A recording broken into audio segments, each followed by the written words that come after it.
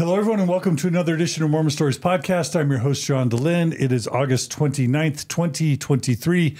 And today we are going to be covering the topic of number one, uh, as a Mormon girl and young woman and woman, sort of the perils of ignoring your own inner voice. And I guess I'd say the upside of learning to listen to your own inner voice. That's going to be a major theme. And a second theme for today is going to be parenting after a Mormon mixed faith divorce. So, you know, you lose your faith, your partner's still a believer, you get divorced, and then you have to deal with um, how to raise your kids when two parents see the world very differently from a faith perspective. And the courageous, uh, thoughtful human that has volunteered to step into these waters is Amy Lloyd. Hey, Amy. Hello. Thank you for having me. Thanks so much for joining us. Appreciate it. Happy to be yeah, here. Yeah. And, um, you know, I sometimes find people and ask them to be interviewed, and then sometimes they write me and tell me their story.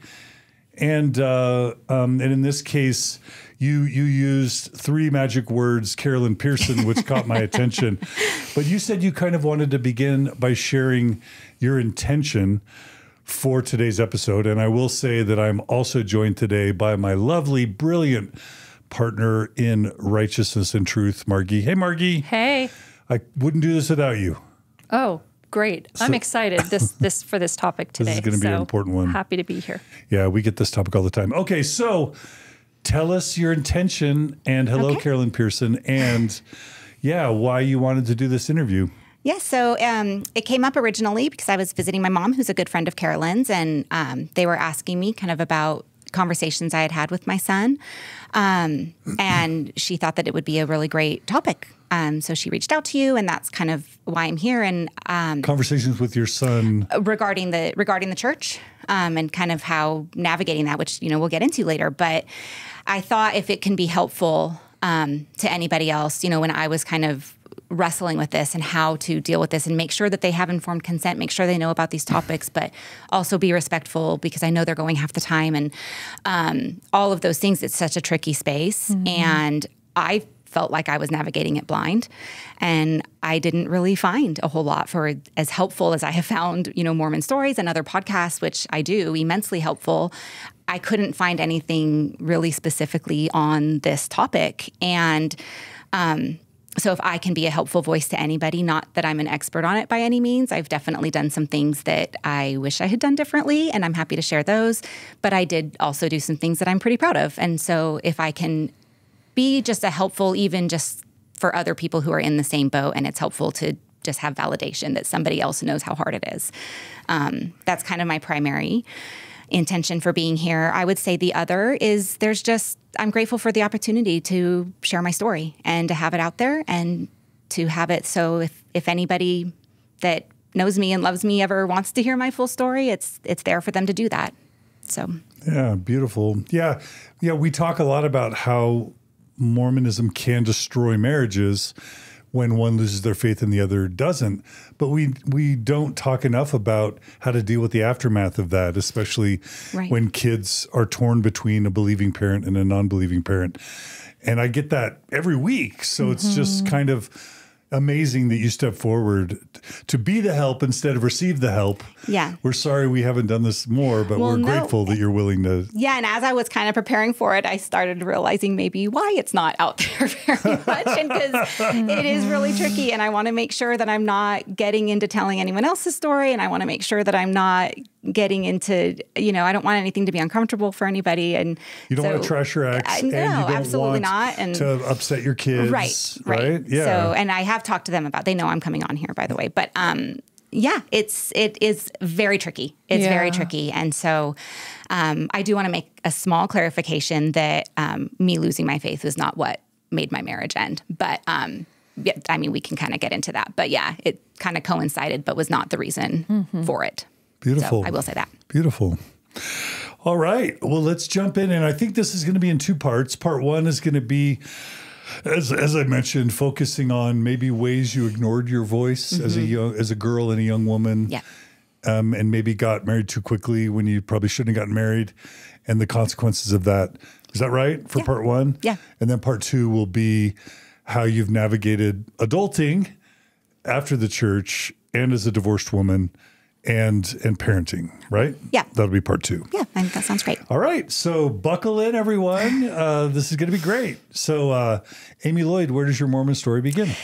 Okay, well, all sides of my family goes back to the very earliest days of the church. Um, I've got apostles in my ancestry. I've got, um, you know, BYU building is named after one of my ancestors. Which one? Um, the Marriner Merrill The Merrill. dorm. Okay. Another, probably my most prominent um, Mormon ancestor is Edwin D. Woolley, who was the grandfather of J. Reuben Clark and Spencer W. Kimball. He was the, one of the first bishops in Salt Lake. He was Brigham Young's business manager. Um, I don't know if you've ever heard that story um, that Brigham Young said. Um, you know, if you ever if he ever falls dead in a lake, you'll find him, or in a stream, you'll find him floating, the body floating upstream because he was that cantankerous. That was my ancestor that he's talking about. Hmm. Oh, wow. Um, so yeah, and that other story that has kind of become Mormon folklore about Joseph Smith demand, you know, asking at the store owner to give all of his goods, and then he's ready to do it, and he says, "Never mind, that was just a test of faith." That same same man, that was him. So yeah, I'm steeped in Mormon history, just pioneer stock all the way back, both sides. Wow. Okay. All right. And so, where were you born? And So- also, your parents, kind of uh, just a tiny bit about them and Yeah, so they were both born and raised in Salt Lake, um, both born and raised in the church. I was Um, told East High School, yep, East High School. That's right. where uh, High School Musical was filmed. Yep, yep, that's right. So yeah, they met. They were actually high school sweethearts. Um, and then he went on his mission. He likes to say, "My mom waited for him." My mom says, "Maybe, maybe not." Um, they did end up getting married, um, of course, and you know had had the four of us. I'm number three of four. Um, but yeah, they were they were both born and raised in the church. Um, my mom's mom actually worked for the first presidency. She was the personal secretary to um, Benson and Hinckley. Whoa. Yeah, What was her name? Eleanor, um, Ste Eleanor Stevens Odell. Wow. Yeah. Okay. Yeah, she's wonderful. So um, she's passed away now, but she was wonderful. Um, yeah, and my dad's family was, I would say that his parents weren't real stalwart members of the church, but they did raise their kids in the church kind of more socially. But and he's always been active, served a mission, the whole the whole nine. So Okay. yeah, So uh, and and so they went to the U, right? they both went to the U. Yeah. We're very chagrined that their four children went to BYU or BYU, as they joked with us that they used to call it when they went to school. and so total children, you said. Um, I'm one of four. okay. And where are you in the birth order? I am third. third. Yep. Okay.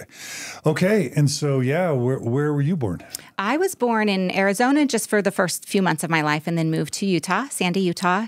I lived there for seven years, and then the rest of my childhood I can um, is was in California. We moved to Walnut Creek, um, California, in the East Bay area. That's where Carol Lynn Pearson comes That in. is where she comes in. Yes. So once we moved there, that's where um, she and my mom met and became good friends, and yeah, so that's the connection there.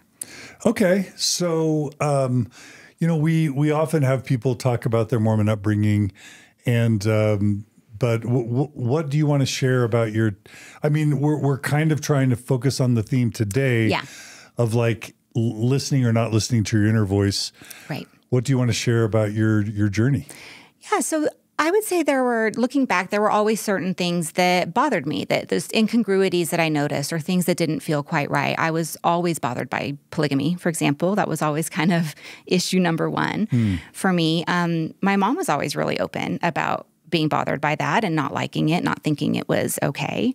Um, and I would ask about it and kind of get the, you know, I was always very validated in my question for for one thing, which I really appreciate about my parents.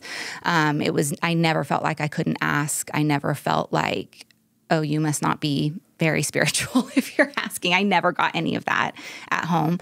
Um, because my mom was bothered by it too. And I remember asking my dad about it, and it was, you know, he agreed. Like he didn't love it either. He didn't, but it was more like a don't throw the baby out with the bathwater type um, response. So I- noticed some things, but in my own home, um, I think my parents are just so great. Like it never, I never felt we did have we definitely had a Mormon home. Like we went to church every Sunday. We we did all of the things.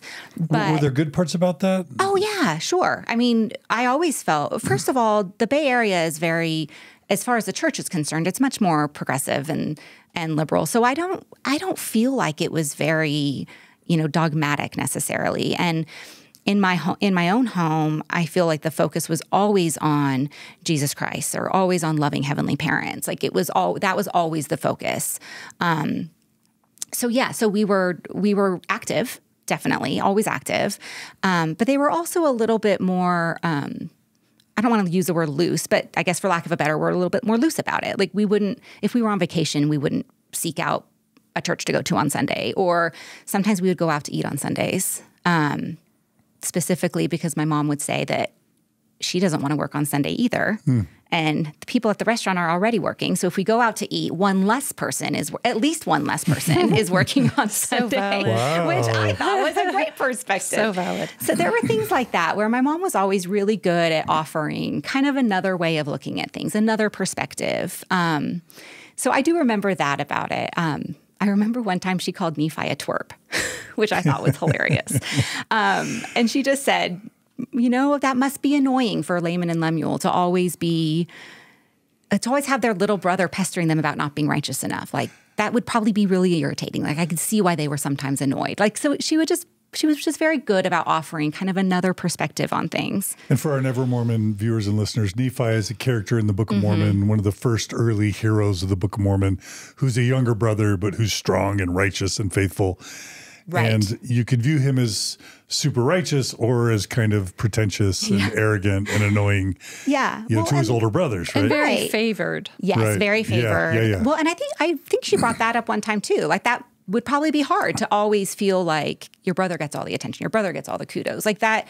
So He's she- favored of the Lord, right? Yeah. So she was very good at not only like the Nephi perspective, but the Laman and Lemuel perspective. Like what, mm. what must it have been like from them? Like they're teenagers or young adults uprooted from their life because of a dream that their father had. Like they probably had friends that they were leaving behind. Maybe they had girlfriends that they were leaving behind. Like that's a lot to ask. and then to always just be painted as complainers, like That's a lot like, of cool. That's cool empathy on your mom's Yes, part. yes, and that's. I really feel like there were several times where empathy was brought in, compassion was brought in. Like, let's look at mm-hmm. this maybe from another point of view. And so then, I kind of, I think, just learned from that example, and and kind of was able to start doing that myself when I would hear kind of more problematic scripture stories in the Bible too. Mm-hmm. Yeah. You know? once your parents model that ability to question or have Mm-hmm. contrary points of view, it frees you up to do the same. Right, mm-hmm. right, yeah. Which so makes I, me wonder how you got off track later from, from your own inner voice. blame, but we'll I get blame there. BYU. yeah, well, it's funny because there's at the same time, like even though this was going on in my own home, in my own home, I feel like was very supportive of listening to yourself, and it, you're still swimming in the waters of of Mormonism, right? Like you're that's mm-hmm. still where you're going to church every Sunday. That's still where you're getting lessons, and I can remember a couple of looking back, really problematic young women lessons that even though I loved my leaders, my leaders were always awesome. Um, the lessons themselves, I think, were kind of damaging. And, you know, I can remember one where, um, you know, we were talking about what we want to be when we grow up. And I immediately thought I'd like to be a doctor. Like at the time, I wanted to be a neonatologist. And it was something that I hadn't voiced a whole lot, but I'd kind of started thinking that. And I remember feeling like almost a little bit nervous, like I was going to be brave and actually say I wanted to be a doctor. Which, first of all, like the fact that I felt like that would be a brave thing to mm-hmm. voice is a problem, right? Like that shouldn't have been a problem for me to feel like I was brave in voicing that. But ultimately, I wasn't because I was one of the last ones to go around the room, and every single girl before me said she wanted to be a stay at home mom. And so that's what I said too. And a big part of me did want to be a stay at home mom. I had a stay at home mom and I loved it. And so I feel like part of it too, there's this, it all ends up being fraught because if I chose not to be a stay at home mom, is that me implicitly saying something about my mom? Am I saying that I didn't appreciate that she was a stay at home mom? You know, and so all of these things just, you, and, you know, arguably maybe I internalized things too much, but I did. And so I don't know. So there was that lesson. There was another one Can where I, can I just say Yeah. there in psychology there are a few like super famous studies. Yes, I was thinking you of were that thinking too. the same thing. There, there's one called the Asch Line Conformity Study, where they get like ten people, nine of them are actors, to um, sit in a room and uh, comment on, you know, the length of a line. And long story short, all of the nine Confederates or actors are paid to give the wrong answer to see whether the 10th person mm-hmm. will give the right answer, which is obvious, Yeah. Or the wrong answer because the previous nine people gave Yeah. the wrong answer. And something like two thirds of the people give the wrong answer just to conform. wow, even though And they so- know, Because yeah. it's obvious Yeah. which is longest. Yeah. And that's it's a classic study. Look it up, the Asch line Yeah. conformity study. But you almost Oh, yeah. you almost perfectly Yeah. repeated that just in a Mormon mm-hmm. context. Oh, yeah. Conformity is powerful. absolutely, Yeah. absolutely, Yeah.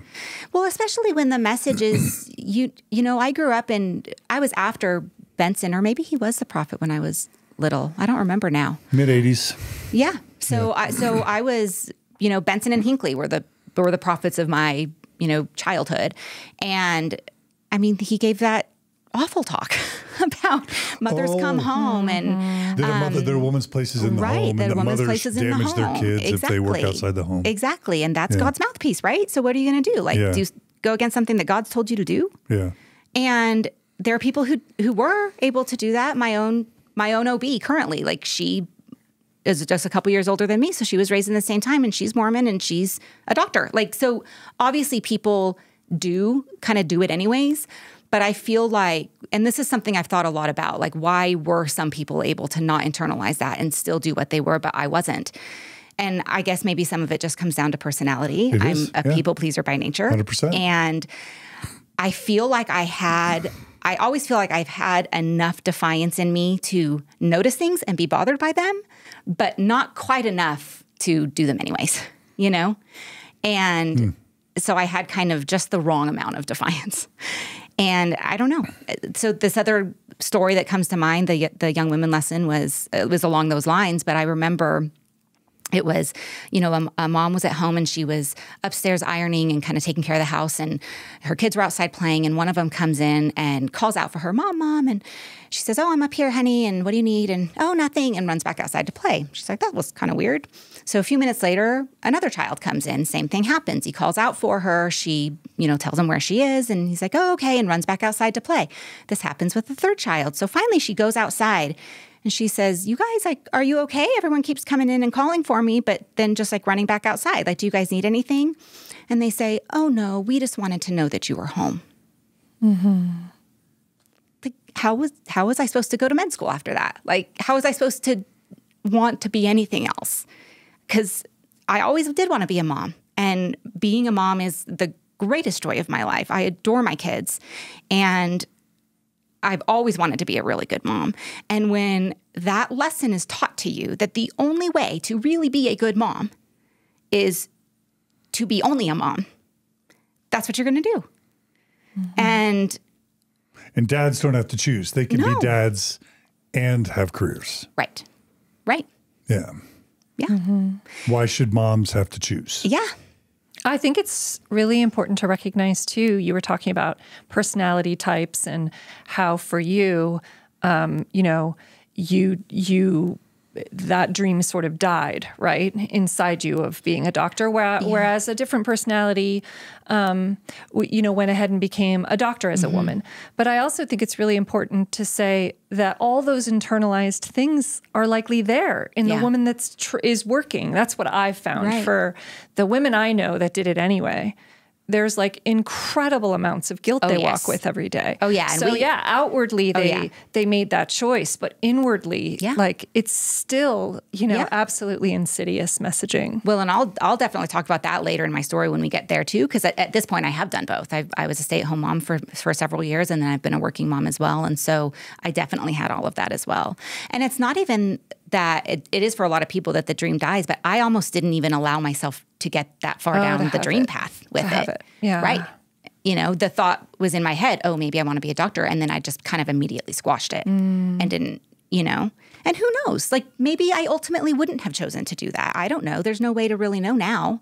But just the fact that having know, the choice. Right. I didn't, and I didn't feel like I really had the choice. Yeah. Okay. So those are some damaging young women stories. Yeah. That I didn't even really recognize as super damaging at the time, but now, like looking back, for mm-hmm. sure. Oh, yeah. Mm-hmm. Absolutely. Okay. And so- I think it's gotten much better. I don't I don't notice as much of that anymore. But that's almost a thing that's frustrating too because there's never like we might kind of universally view it even within Mormonism that Benson talk as being damaging and not appropriate and like people don't necessarily quote from it anymore, but it is there and it's never been kind of taken off and it's never been oh Denounced. hey yeah denounced definitely never denounced or apologized for or anything like that and people might not agree with it now but at the time if you tried to disagree with it That's right. that's a no-go right And it kind of affected that generation so in a certain badly way. yes when Margie and I were raising our daughters in, you know, our kids in Logan just, you know, 10 years ago, we noticed just how comprehensively mother and non working outside the home focused Mm-hmm. their Mormon upbringings were in the 2010s. oh yeah And, you know, it just goes to show you that the church can stop emphasizing something from the pulpit, but the cultural hmm. teachings can persist for right decades, if not longer, Well, even when the teachings are no longer emphasized. Absolutely. And I think part of that is because of this thing of prophets. And that kind of brings me to another incongruity that I would notice. You can disagree with the prophet, but never in real time. Never Nev- vocally. Ne- well, never in, never at the time, Yeah, right? right. It always has to be Yeah. after there's at least one or two other prophets. then you can maybe go a couple prophets back and disagree with what the previous Not- one not- said. well, maybe, but but- never at the time. but at church, if you're like Joseph Smith was messed up here or there, Brigham Young was bad here or there. Oh, there's still a point, right? Yeah, yeah. Like I'm just talking about like with this Benson talk, for example. Okay. It's people I think are I think actually currently right now, like one of Julie Hanks's recent Mm-hmm. posts is about that is about that talk.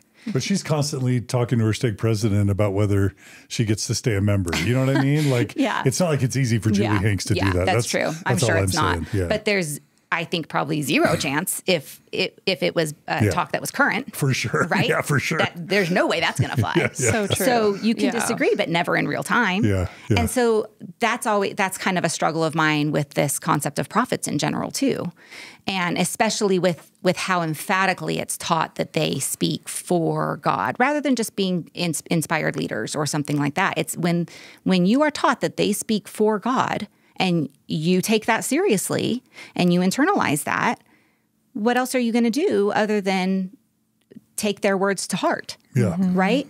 And then it gets very confusing when a past prophet has said something that is universally understood to be problematic, like some of the racist things that we've heard, in, you know, that now nobody agrees with. But like in the past, it's what do you do with that if they were speaking for God? So then the choice either becomes, to me, I don't know oth- any other way to pair it other than they either don't speak directly for God or God's very fickle and sometimes not too nice, right? Like it, it just, I don't know how to pair it. And some people are able to, and good for them, I guess, but I don't know how to do it. So as a teen, how did you process all that? Well, so as a teen, I think it more just came in as confusion, like things that I would, I would hear that I'd be like, well, I don't, that doesn't really feel right. Like, I don't really like that. But then it was always just kind of ultimately, well, you Pack that down. yeah, you pack it down and Yeah. well, don't worry about it. We can't Yeah. know all things. We can't, you know, I would kind of get that that Isaiah answer. 55 like, scripture that you learned in scripture mastery. The Lord's ways are higher than man's ways. Right. And we don't understand Yeah. the Lord's wisdom. Which kind of leads me to another dichotomy, though, because why would God make our like God made us right under this, you know, these beliefs?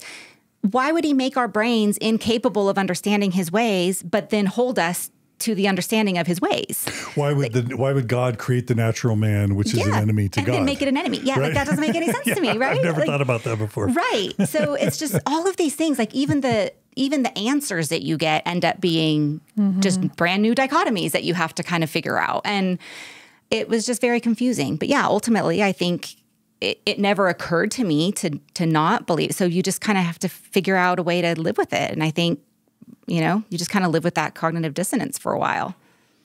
Yeah, So were sense. you were you uh, if we were going to drop in on your teen kind of years and see you and how you functioned and coped during those years, it what did that look like? Like were you aware that you kind of had this inner world where things weren't all sitting right? Yeah. Or were, was it more like, and did you have kind of that outward self? So you were kind of doing all the things, but then having this separate experience internally? Or like, how did you Yeah. experience that?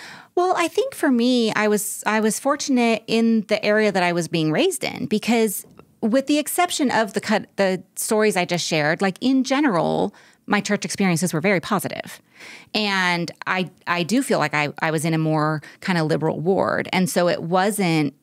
I don't feel like I butted up against it a whole lot. I just so when I noticed it, I, it was more just, well, I don't know that I love that, or I don't know if I mm-hmm. agree with that mm-hmm. if I would ask my fam- my parents about it, I, I was definitely validated. So I didn't feel like I couldn't express that. Nice. But yeah. then it was just kind of that's not that's not the focus anyways. Like let's not worry about it type of thing. And it was easy to do that because it wasn't really the focus as much mm-hmm. where I was. So I don't know. That's I guess hard to answer in a way. I I think that I I definitely outwardly kind of did all the things. Right. I was very I was a very you know good girl. Um, but I also like didn't really want to not be like that anyway. Like kind of fit personality wise in that way. yeah. Um, yeah. So yeah, At that time, would you say you were very invested in kind of the Mormon plan, the Mormon sort of structure of how your life would Yes. go? Where you you were bought into that? Oh you were bought in. Yeah. In terms of like wanting, you know, going to college, getting married, having kids, being stay at home, all all of that. Yeah. yeah. I did. I never had an interest in going on a mission, though. I will say that. That was never interested interesting to me. Um, for one thing, it wasn't. You know, I'm 44 now, so at the time, it wasn't as prevalent for girls to be going. Like you, yeah. They definitely did. It wasn't like it was rare for them to, and I had several friends who did.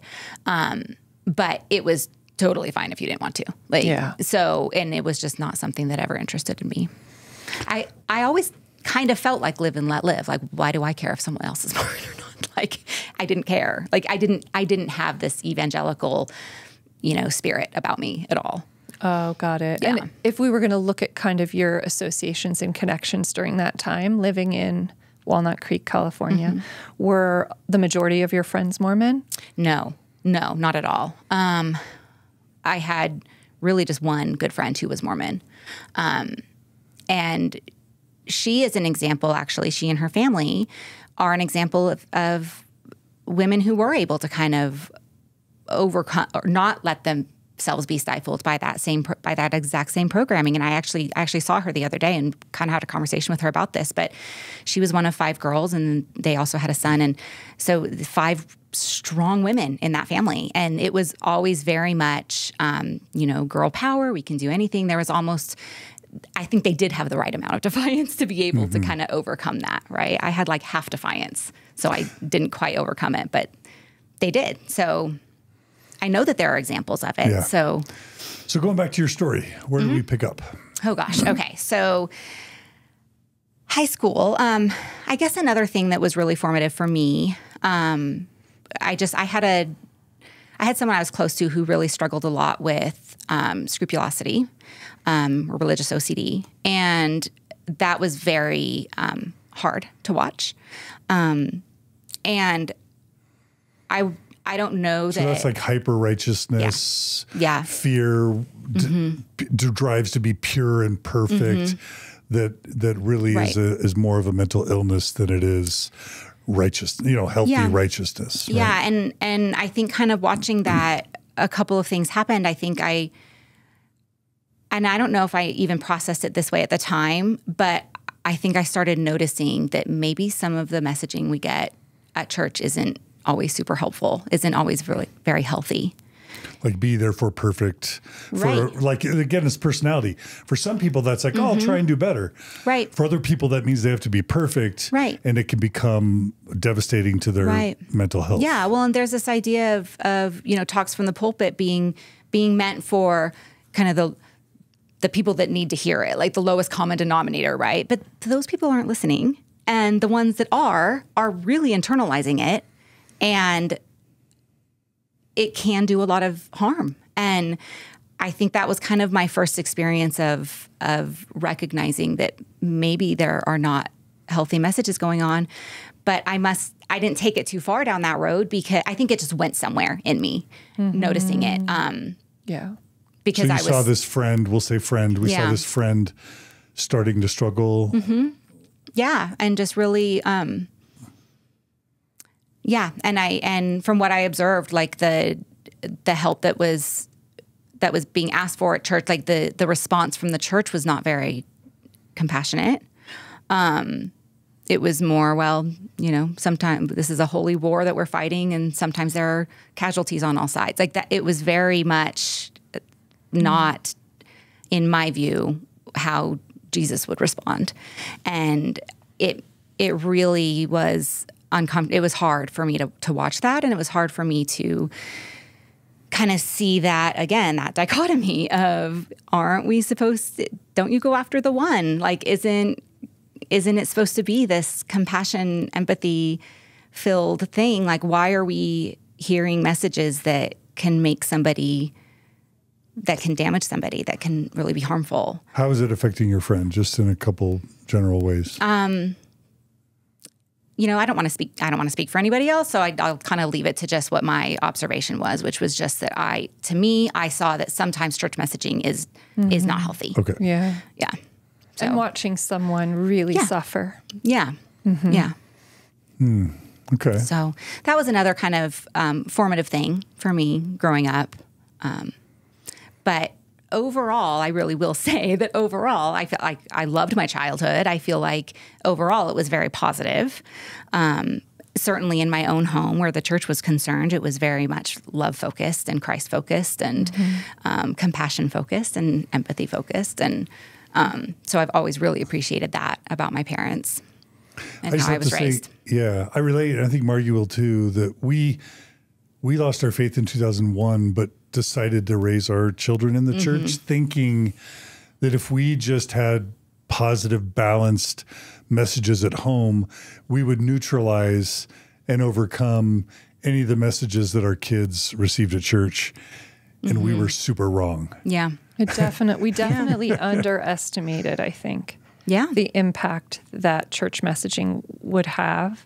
And we definitely overestimated, I think, our inoculation ability. Yeah. Because kids famously care much more about social messaging than what their parents have to say, Right. especially in the teen years. Right. And if the messaging is all around purity, purity, Right. modesty, perfectionism, uh, anti-LGBT, whatever it is, Yeah. your kids are going to absorb those messages, Right. W- whether you try to neutralize them or not. Yeah, and I do think that some neutral neutralizing happens. Um, like I can remember, in, in general, I was a very, I was like I said, I was a very good girl. I didn't, you know, I toed the line and didn't even view it as toeing the line. I just, I was very, I was And by good and girl- obedient. Yeah, yeah, I got to say Are that. you saying that in the it, let's talk about good? Because I do Yeah. think what do you mean when you say good? Sometimes good Um, can mean depriving yourself of healthy normative experiences. It's like right? obedient. Well, and that it's more of probably an, did a people happen. There wasn't a whole lot of dating going on, for example. But Okay. um, but yeah, you know, I got good grades. I went to, I was, you know, Mia Maid and beehive president. Like I did my personal progress. I, you know, all of that stuff. Um, I did have a rebellious moment um, where I got caught drinking.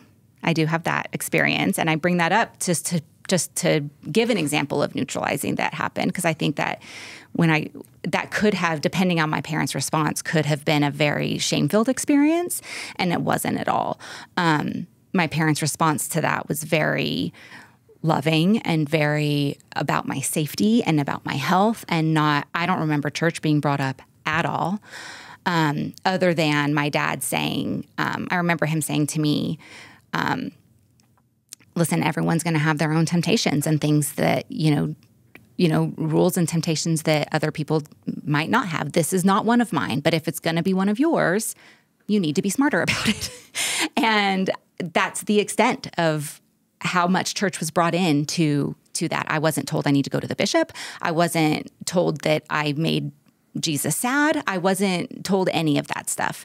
And there was no shaming involved at all. It was very much like this is this was not healthy for you. Like this is not a healthy choice. Like you know, it was very much about my safety and not about sin or morality. And so mm-hmm. I do think that that that they did a good job of neutralizing what otherwise could have been a harmful message, you know, in the in the mm-hmm. discipline of that. Yeah. Yeah. So Yeah. Okay. All right. So should we leave the high school years or Yeah, I do you think want to talk about your testimony at all? Is that important? Oh, or was yeah, it just a it was- traditional testimony or I would say I would say it was very strong, very strong. Um, I, you know, I I play music, and it's always music's always been an important part of my life and of my upbringing. And I was always doing, you know, helping with musical numbers at church and singing, and I always felt the spirit so strongly when I was singing and involved in those things. Um, and yeah, I had a very strong testimony. I, I felt things very, very deeply. Um, yeah. Okay. All right. So what came after high school? So Not a I- mission. no, not a mission. I did go to. I went to BYU, um, and that was another instance I think where I ignored my own kind of what I wanted to do. Um, I had gotten into UCSD, um, San Diego, and chose to go to BYU instead. And I think a big driving factor in that was that I was um, I was tired of feeling different. I didn't want to kind of have to explain my beliefs anymore. I it was really attractive to me to be in a place where everybody else was Mormon too and I maybe didn't have to feel, you know, uncomfortable about being Mormon or um I, it was very attractive to me to go to to go to BYU for that reason. And looking back, like that's kind of a bummer because I think UCSD would have been a great school. so, um, and who knows? Like maybe I wouldn't have decided to go there anyways. But again, it's all of these decisions that are so informed by the church and what you're told is right, and that's kind of just what you end up doing, whether it's kind of what you want to do or not.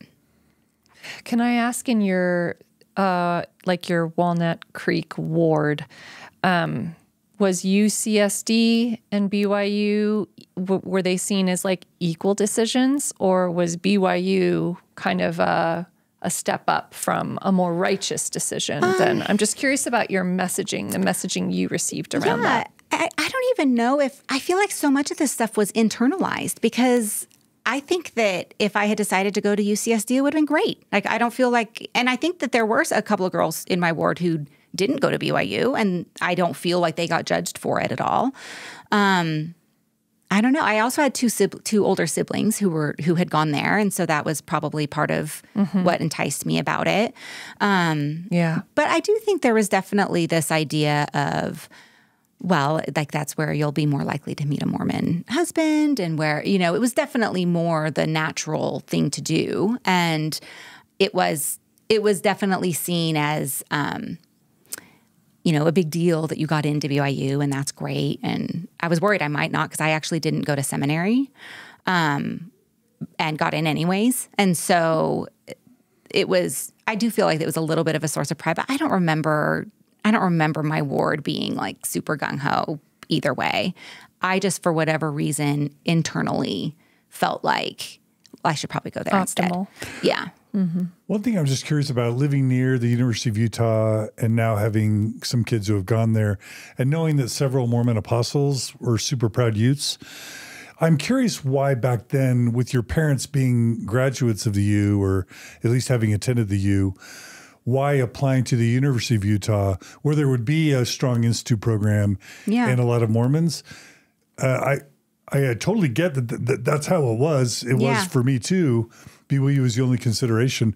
I'm Yeah. just wondering in your case why, especially in your family, Right, since my parents went to the U. why Yeah, the U wasn't more of like a possibility. I think for, I think that the thing I did not like about the U, and that I, I think is still true, is that it's more of a commuter school. So mm-hmm. I think it's le- I mean I don't know if I say that's still true. I don't actually know, but it seems like it's more of a commuter school than it is like Meaning, kid, not enough kids lived on campus Right. and not enough Right. campus life. That's what it seemed like to Okay, me. okay. I I don't know if that's true or not, but that's what it seemed like. And I really liked the idea of going to BYU campus and living on, Mm-hmm. you know, and, and it was fun. I, I actually really did like BYU. At I mean, the first BYU is a marriage funnel for the Mormon church. yeah. You know, Yeah. because kids that don't get married to Mormons often leave the church at a higher rate than kids who marry Mormons. Mm-hmm. Yeah. Yeah. Full stop. Yeah. So BYU has been the marriage funnel for 30, 40, 50 years. Yeah. Yeah. Yeah. My mom said at the U they used to call it Brigham Young University. Brigham Young. Bre- Brigham. Brigham Yeah, Young. yeah. yeah, yeah. That's Oh, dear. awesome. Okay. Yeah. and I don't feel like at least I at least um, But this is topical to your story, it is. particularly, right? Yeah, yeah, Yeah. for sure, Yeah. for sure. Yeah. Keep sorry, keep going. No, at least explicitly, I don't feel like I was going there to meet a to meet a husband. I don't feel like that was my my conscious motivation at all. Uh-huh. conscious, but I'm sure unconsciously it was uh, at least part of it. For me, it was Right? super conscious. Yeah. Yeah. Yeah, I think for a lot of people it is. I think that yeah. again, going back to that like half amount of defiance that I had, like I would never have like admitted that, right? But it probably did play But in. see, that's the parental conditioning and the inner voice versus the social conditioning. Yeah. Exactly. You may you may have some conscious preferences, Mm-hmm. but often what wins out, right, exactly. right? Yeah, absolutely. The social conditioning. Absolutely. Yeah. Yeah.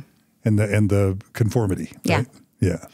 So, but I did, I did love BYU, especially my first two years. Loved it, loved it. I had a lot of fun, and and it was nice to be around people who, you know, felt the same as you and who believed the same as you. At least, at least on the outside, and I kind of ended up feeling different there too, because I think I was, you know, maybe didn't internally conform as much as as other people did. And so things started to bother me. And I think my cognitive dissonance really ramped up when I was there.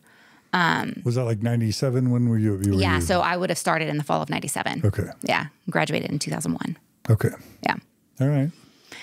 Yeah. I mean, it was, it was fun though. We, BYU's a funny place. Like we had, I, I made some great friends there and friends that I'm, people I'm still really good friends with today. Um, really I, met some really good people there but yeah it's a funny place i remember my i remember my was this my freshman no it must have been a little bit later on but um, the daily universe had a you know an opinion you could write like any newspaper you could write in opinions and there was a guy who wrote in about how inappropriate it was for girls to wear crossbody bags because it accentuated you know their boobs and that like how inappropriate that is. And girls should not wear those because it's you know makes it harder for the guys i guess. And it was this back and forth ridiculous Wow. thing in the newspaper for weeks. And one that i so i was glued to it because it was highly entertaining but just so ridiculous.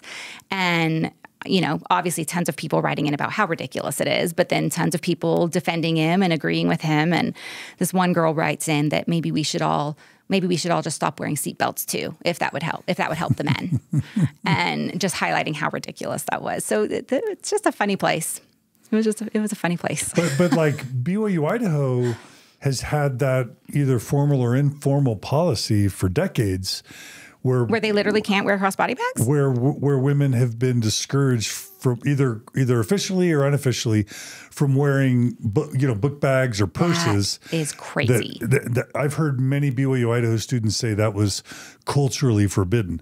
So Wow. so like BYU Idaho usually is like takes takes BYU to eleven, Yeah. so to speak. Yeah, for I sure. call it Mormon Saudi Arabia, but it's just historically it's been literally that that sort of the thing. Yeah. Wow. Well, luckily at BYU Provo, it was more just a funny.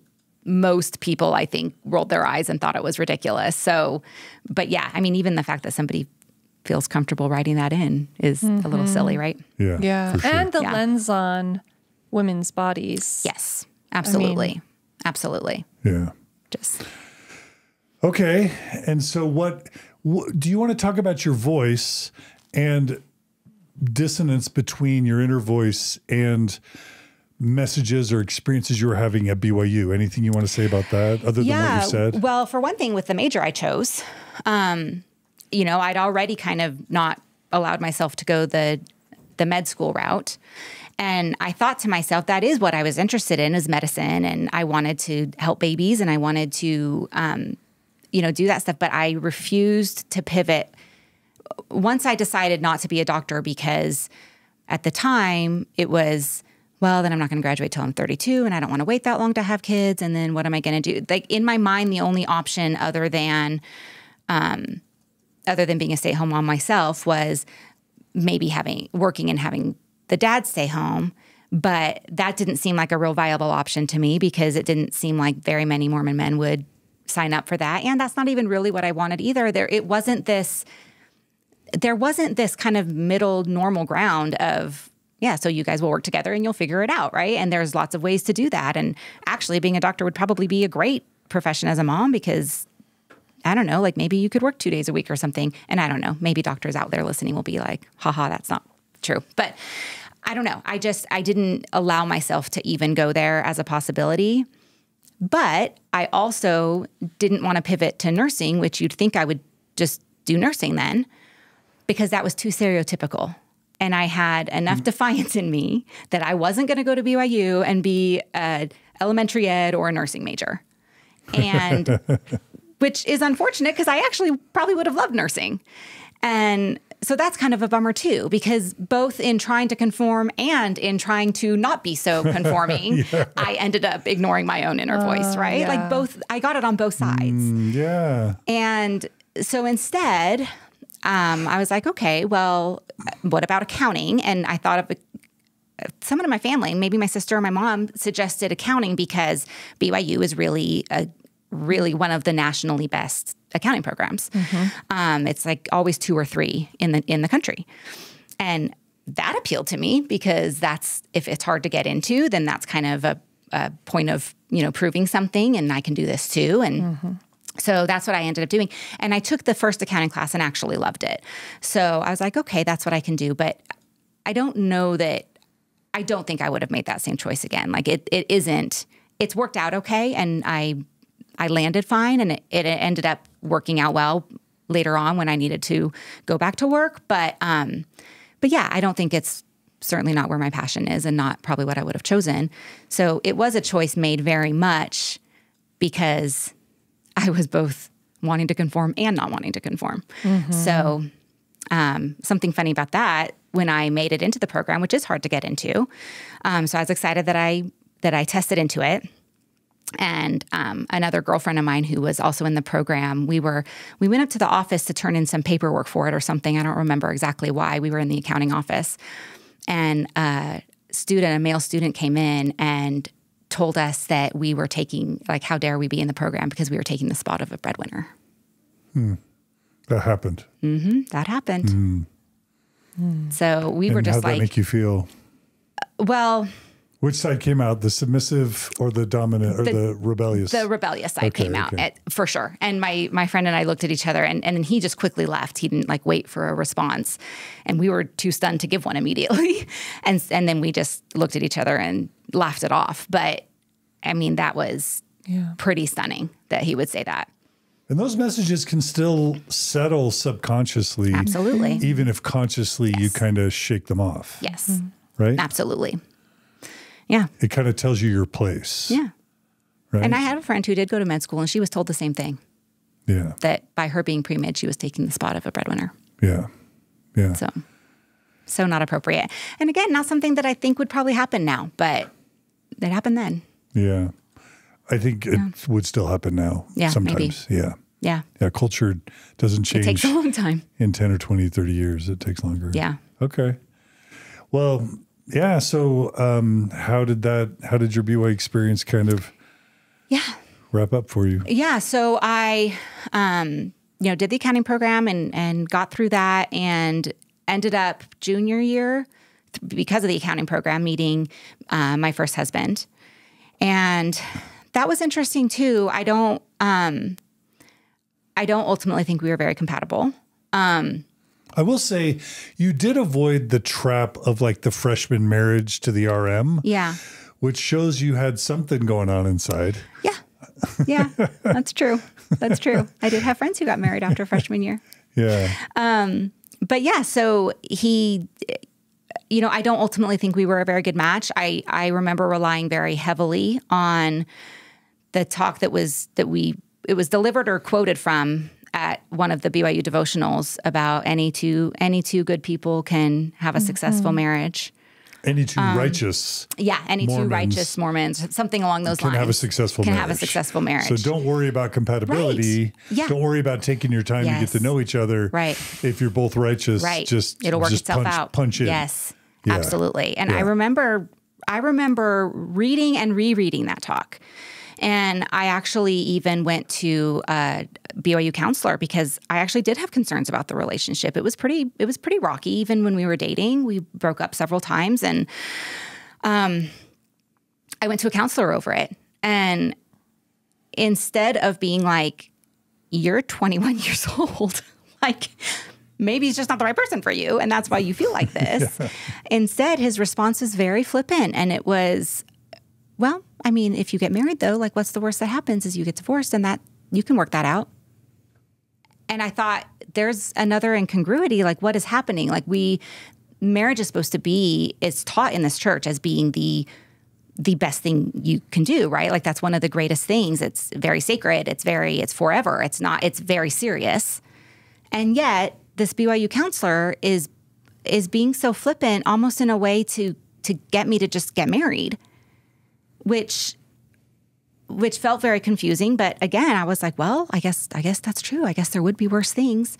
And you know i again was relying very heavily on this talk and and i don't know why. I don't i don't know. It's a million other people would have recognized that maybe it just wasn't the right relationship. Um but for whatever reason i felt i just felt compelled to work it out and to keep going with it. Mm-hmm. and i feel like i do want to make a make a quick pause to just say that I there is nothing in my life that I would do any differently if it means like not having the life I have now. So I would not trade my kids for anything. I would not. So from that perspective, like I would do everything exactly the same because mm-hmm. I would never mm-hmm. risk not having them. So I don't want it to come across like I'm regretting this so much, but like just to make the point that I I don't think I made decisions that were in line with myself. Mm-hmm. So I don't know. That's always so tricky, right? Because yeah. I don't I don't want my kids to be thinking that, you know, I wish that didn't happen because that is 100% not true. Like I would do zero things different if it meant not having them. Like I would never risk that. Um, so just wanted to make that clear. I hear that. Um, and yeah. I also think that piece of advice from the therapist, mm-hmm. it really ignores I think the conditioning of women around staying at home because it yes for women that get married and then eh, you know oftentimes you have children really quickly and then get divorced it's very different for mm-hmm. a woman than for the man the yes, breadwinning man and right. the woman that has only gone to school bec- knowing that she's going to stay at home right that power differential that opportunity differential it leaves the woman so vulnerable. Yes. That just completely ignored all of yes. that, right? Absolutely. Absolutely. Yeah. And I did have an accounting degree to fall back on, which I'm grateful for. And that ended up being a very good thing, but it doesn't mean I didn't start at the bottom. And I, I always did. I, I did work for a few years after we got married. Um, but it always was, it, it, I approached it more like a temp job because mm. it, it was always just until I had until I had my first baby. Yeah. And so I didn't put the and made part of it too because I wasn't passionate about accounting. That's probably not the right field I should have gone into for yes, what I was interested like in. A web, right? Mm-hmm. But also, it's it it did always feel very temporary. It was all I always viewed it as temporary, and so there wasn't the same attention given to seriousness building a career and to and you know to getting mm. i'm sure there are mm. and actually now my my job that i have now i i really do like a lot and so maybe i could have gone that route instead you know so it's just it's fraught in so many different ways um but yeah so we we got married but there's got to be there's got to be i meet so many 20 something 30 something 40 something mormon women who for whom it's both it's i love my kids and yes. I I totally didn't have informed consent. Yes. And was operating under under conformity and social pressure mm-hmm. and not under what I felt would have been best for me or what I truly wanted right. or didn't even know mm-hmm. didn't even have the chance to get to know what I wanted. Right. And it's got to be both. Yeah, it, it is both. I think it is both. Yeah, and and I always knew I wanted to be a mom. I had I had yeah. always wanted to be a mom, and I do think that that is genuine. That was that was not church conditioning for me. That did line up very strongly for me. Yeah, um, and but, I don't regret the years that I spent staying home with them either. But but but I do think that it, timing matters. Both. Yeah, timing, timing matters, yeah. and I think that it could have been done in a way that was a little bit more beneficial. And if we're talking about informed consent, I also think culturally, I wonder sometimes what it would it would be like to have a sense of informed consent around what it means for women's bodies to have mm-hmm. babies. Yeah. Like I don't think that's discussed enough. Like, hey, right. just so you know, or mental here, health too, or mental health, yeah, yeah. and um, as well for for a partnership to say hey, it's beautiful you want to have children, and here are some things that you should know research wise about happiness in partnership once babies mm-hmm. are introduced and further down the line teens the yeah. teen years i just think that's a very different conversation like and how you would navigate that as a couple would be so different yeah i think you, you could strategize. You could actually go in saying, okay, so we know this. Right. What do we want to do? How do we want to actually go about that? Sorry, just a yeah. little side uh, because you mentioned informed right. consent being so important. Right. Oh, and that actually reminds me of a class that I had at BYU on childhood um, child development, um, where they actually taught a study about how children of stay-at-home moms versus children of working moms are are no different in terms of success and happiness and security and all of those things. There's essentially no detrimental effects um, that are measured that are measured for work for children of working moms versus children of stay-at-home moms.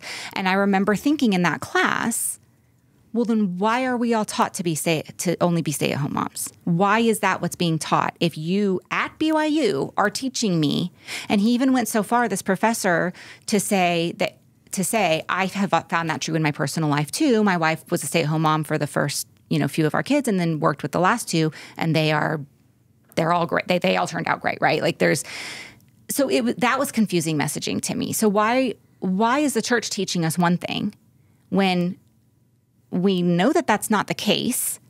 And why do I still feel the pressure to only do that, even though I'm hearing that it was it was very confusing the messaging yeah, around that. I can see that. Mm-hmm. So that was something. Um, so I don't know. It was that an attempt at informed consent, like to let women know, like you can't. But but again, it wasn't. That was kind of all that was said, and then we moved on. And I was, you know, I wanted to go talk to him afterwards and ask him more about it, and I just I just didn't. And you know, I remember that class though. I remember being like, that's confusing. Mm-hmm. Why is the church teaching us this then? Why is God telling us this? Because that's yeah. how I viewed it, right? Yeah. Yeah. I don't know. I had a couple of classes at BYU that kind of gave me pause about things. Like another one, um, I've always been very interested in just religion in general. I think it's fascinating. And um, so I took a Greek mythology class. I thought it was one of my um, just gen eds and thought it was super interesting. And I remember having this thought when I was taking this class that I wonder, like, it's everybody in the world, like, nobody in the world thinks of Greek mythology as like religion anymore, right? It's all, it's myth, but it was religion to them.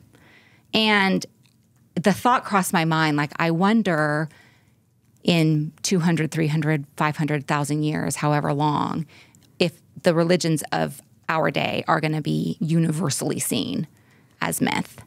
And then I was kind of like, huh, mm-hmm. I don't know what to do with that. I'm going to put that away. Yeah. But it was interesting. And then another thought I had in that class was on their view of gods, which in a way kind of made more sense than our view of gods, or at least the Christian view of gods. Like, we try to make God this all knowing, all powerful, all loving.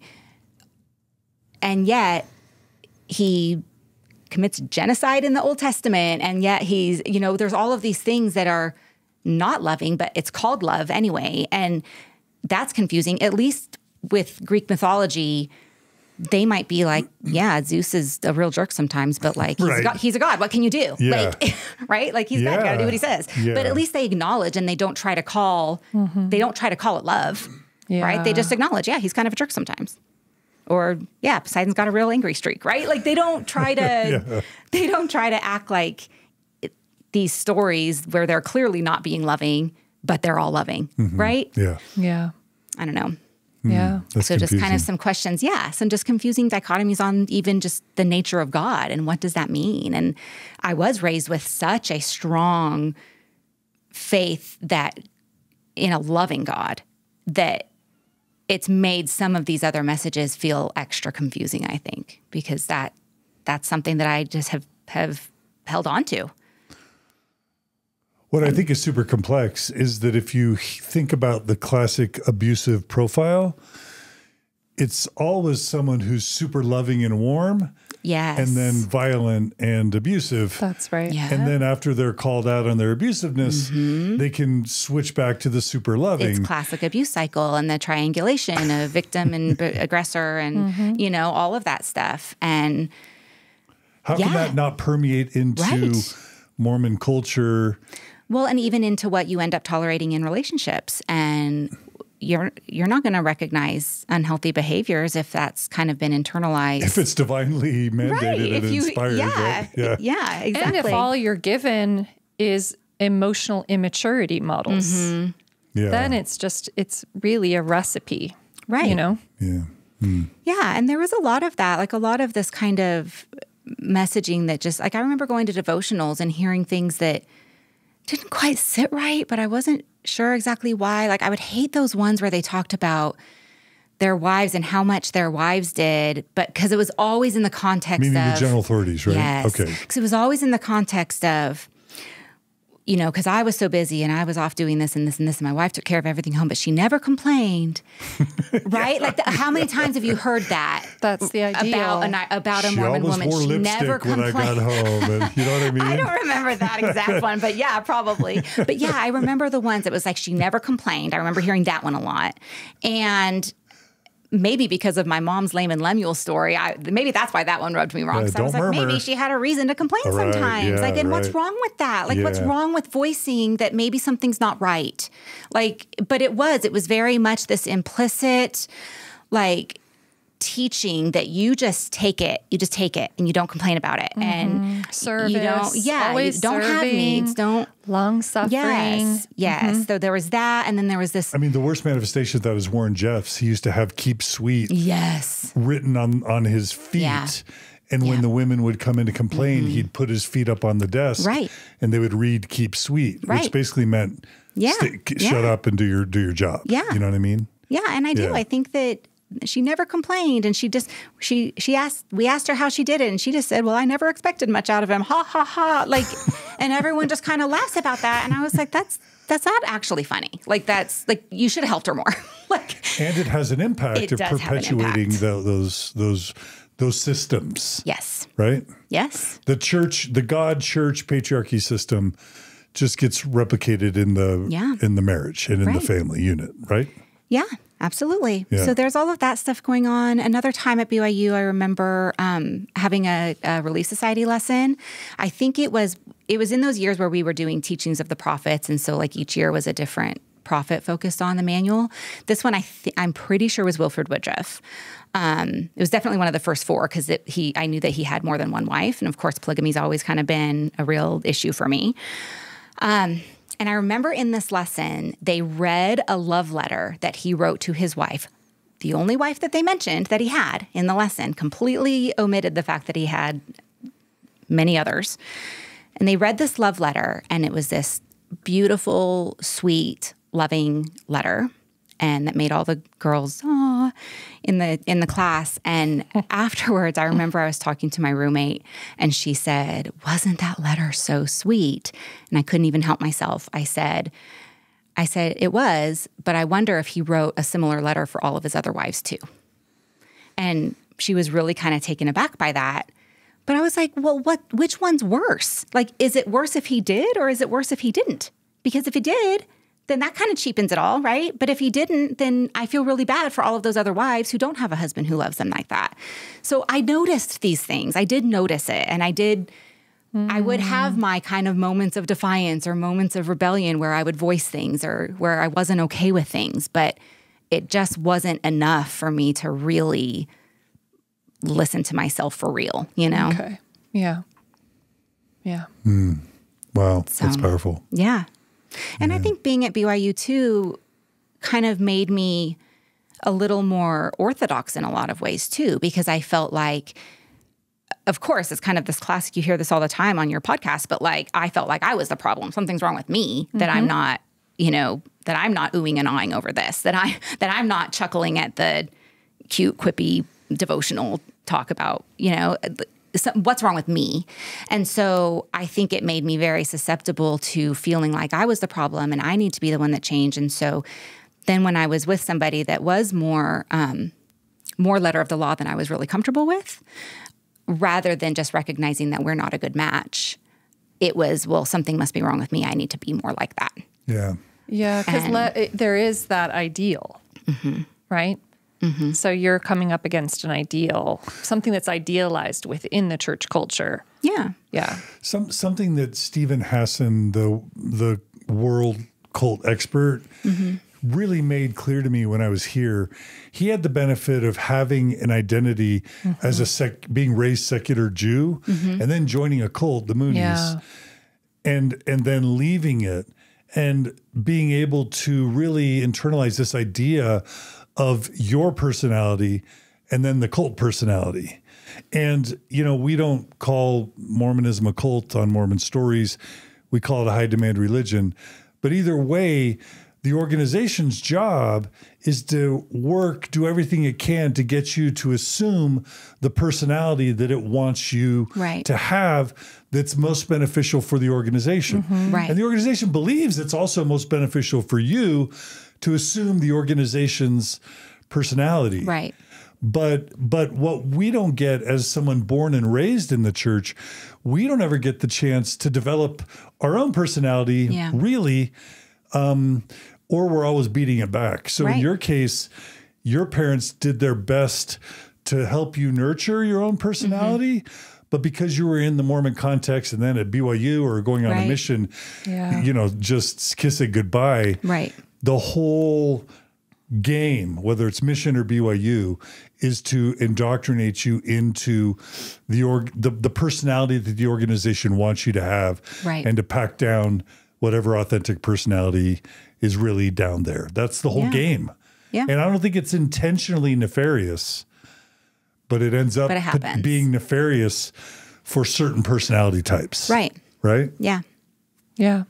It's so well said. Yeah. And It's like a false it's a false self that was created by an outside entity right for you. Right.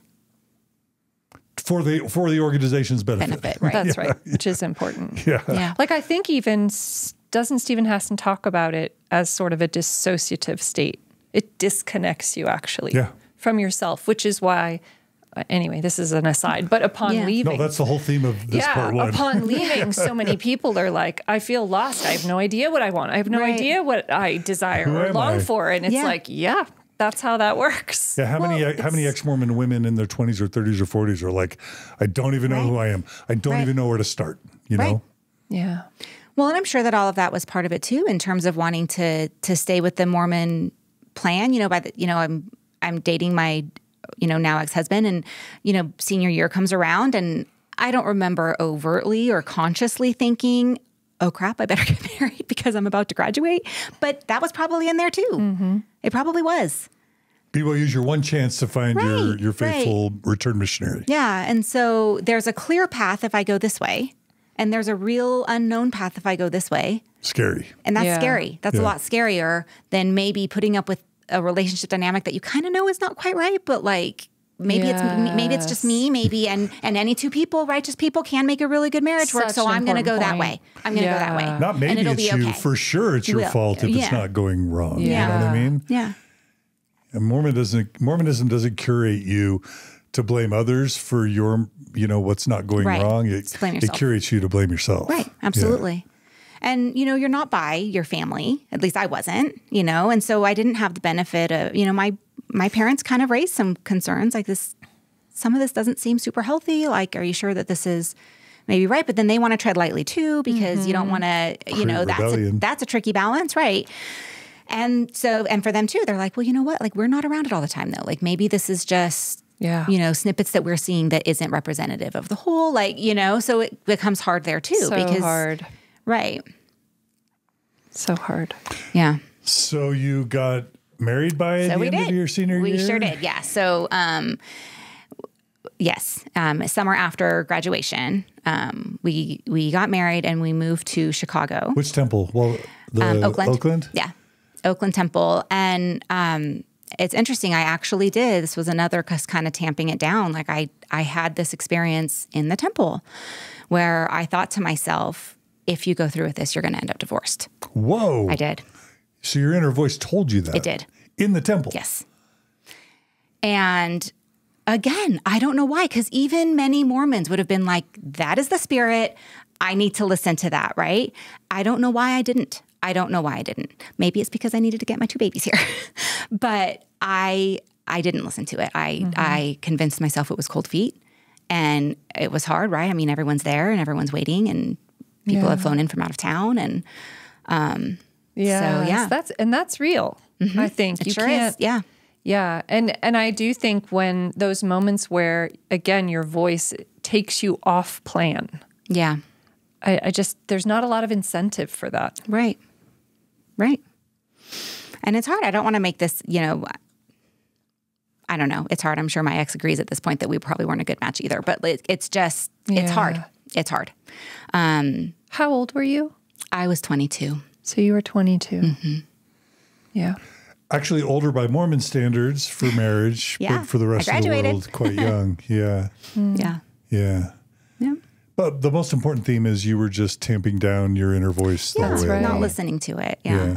Well, and the temple too. Like we haven't talked about the temple experience yet. That was uncomfortable. Go f- I, whatever you want to say. yeah so i i had heard enough um i don't know how but i had heard enough that i knew um i knew that women veiled their faces and at the time this was before i know that they've recently changed this but um, at the time you covenanted to obey your husband and i did not like that While your husband covenanted to, obey, obey God, God, right. So you're obeying your husband, your husband's obeying God. Right. And I didn't like that. And I talked to a bishop. I talked to my bishop about it. And I've always had very good bishops. Um, I was very lucky in that regard. And I remember talking to my bishop about it beforehand and saying, I don't, I don't like that. Like, I don't feel like that's okay. That doesn't feel, that feels sexist to me. Like, I don't like, you know, I don't like how that feels. Like, because the only reference I had for why women veil faces was, um, is it the New Testament where Paul's talking about how women can't stand the being in the sight of in the presence of God, and so they have to veil their faces or something like that. I don't know the Whatever exact it is, scripture. it's nonsense. yeah, whatever it is, that's not great, right? So that's what's in my head as far as why we veil faces. I And mean, so, Paul says women should stay silent in the church, yeah, yeah, which basically puts women down a notch. Right, Right, absolutely. Yeah. yeah. Yeah. So I remember talking about that beforehand, but just I get again and having a very understanding bishop and being like, I understand, I don't love that either, but this, you know, don't let it kind of ruin the whole experience type of thing.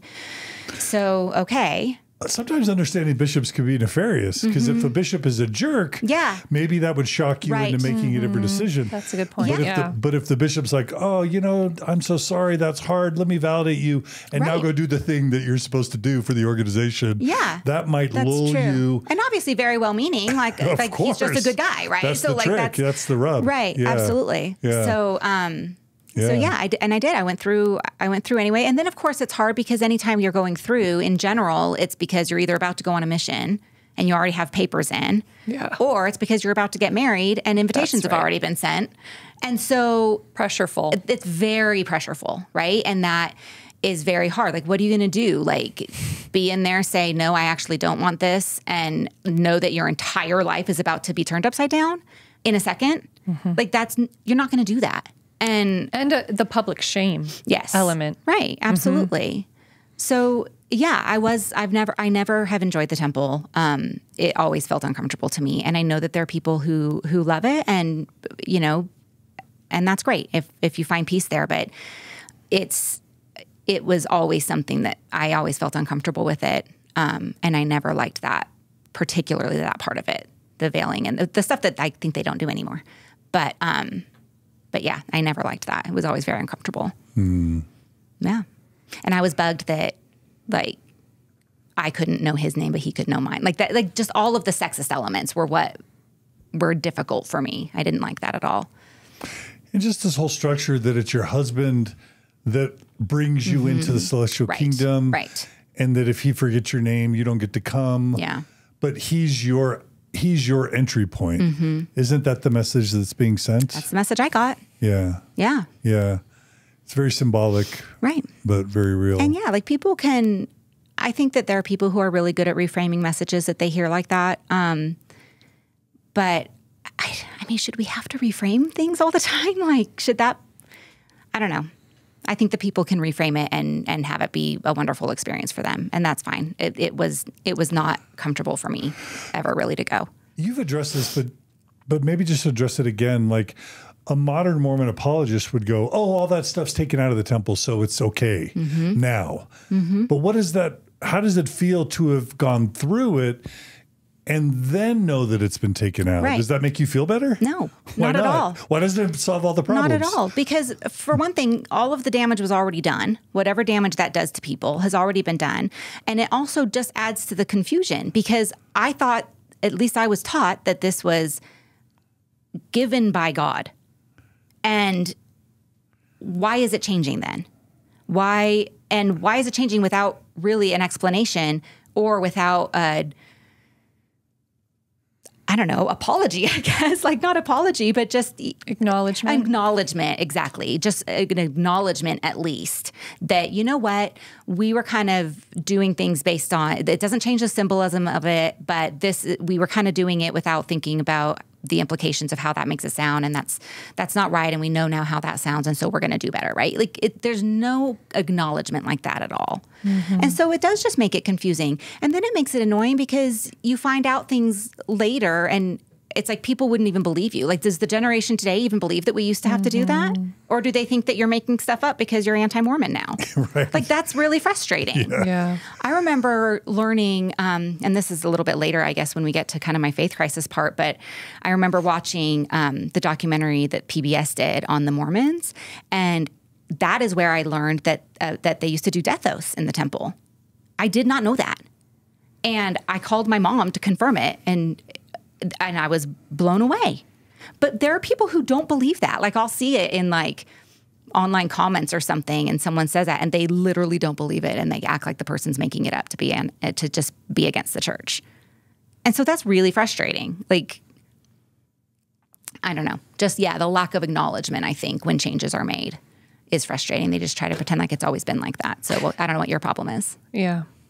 Yeah. I think that acknowledgement piece, what it does communicate is what you experienced was mm-hmm. real. Yes. But until you have that, you have this sense of like the system messing with reality Yes. in a way that makes you feel like, am I crazy? Right. Like, did I experience what I experienced? Yes. Um, Absolutely. Yeah.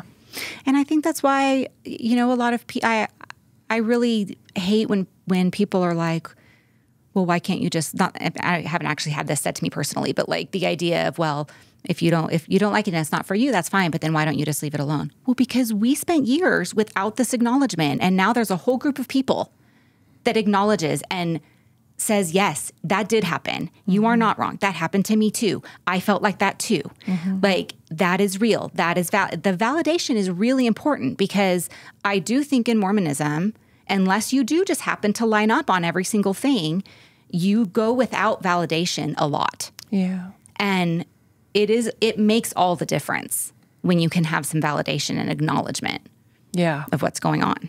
That's right. Because there is no, there is no even hope or possibility of accountability Right. without acknowledgement. Right. And so when you re- when you apply that, I think too to this idea of personal relationships, like you were saying, Yes. Right, Then Absolutely. that dynamic can live on in And these it does. personal relationships. And it no does. acknowledgement, Right. which makes accountability. Right. Absolutely. Yeah. Yeah. I that makes that. it really hard too. And that's not always a great way to start off your marriage, right? With a super patriarchal, Something that's awkward, uncomfortable clumsy, for you, yeah. uncomfortable ritual that's supposed to be the happiest, most meaningful spiritual moment of your life. Yeah. And I'm sure for some people it is, but it, it was not for me. Yeah. Yeah. Yeah. It was not for me. Yeah. It was uncomfortable. Yeah. Okay. So yeah, so we moved to Chicago. Um, lived in Chicago for five years total. After three years, um, our first son was born, and I loved Chicago. By the way, Chicago is such a great place. It's such a great city. It's a really interesting. It's a really fun ward. Loved my ward there. Um, What part? right in the city. Chicago. Oh. Like right, like wow. the first two years we lived right downtown, like right on, um, like a block from Michigan Avenue. Fun. Yeah, it was really fun. And then um, for the next three years, we lived in a neighborhood called Wicker Park, which is um, pretty fairly close to like the Cubs Stadium, It's like the kind of the neighborhood next to that. So it was a really fun neighborhood. It was a really fun ward. A lot of really young couples um, living there, and then a lot of kind of inner city converts living there. So it was a really interesting mix. We all had really big jobs because we were like the ones who knew what was going on. We were the ones who'd been raised in the church and kind of knew, I mean, not knew, but at least knew more. Um, so we all had really big jobs. I was in the primary presidency. Um, my husband was in the young men's presidency. And I think our bishop was like in his 30s, like he had young kids. Like it was just that type of ward where we all just did all the big jobs. What if there's the same ward Rachel Weaver was raised in? She is one of the Black Menaces that we had on recently. Did it cover South Chicago? No, it probably was not that ward. okay, no, okay. Mm-mm. mine was more like more the north, Okay. the north side. Yeah. Okay. So it, it, I'm sure it wasn't her ward. Margi She and I was on lived in south. Chicago many years. Oh, you did? We loved a lot about it. Where Yeah, did you live? We lived in Naperville. Oh yeah. Okay. I worked for Arthur Andersen downtown. So did I. Accounting firm. Oh, yeah. Arthur 69 Andersen. West Washington. Yeah, that's yeah. right. I work. I, well, we were on West Monroe when I when I worked for Andersen, but I worked for Andersen for nine months before Enron happened. Yeah. And yeah, I had left Arthur Andersen by then. Yeah. So, then I moved over to Deloitte and Touche Mm-hmm. and lit, worked for them for a couple of years before Noah was born. Okay. Yeah. So and they were in the Prudential building. We loved a lot about Washington, about Chicago. Oh, Chicago's Yeah. awesome. Yeah, yeah. I love it. Except the weather. Yeah. Yeah. But then you go to Houston. Wait, I'm getting ahead of myself. yeah. Yeah. I, I haven't lived in the best weather places. I grew up in a weather place, which is unfortunate because then it like made me a weather baby. Mm, yeah. I'm only comfortable in like a 10 degree Window. span.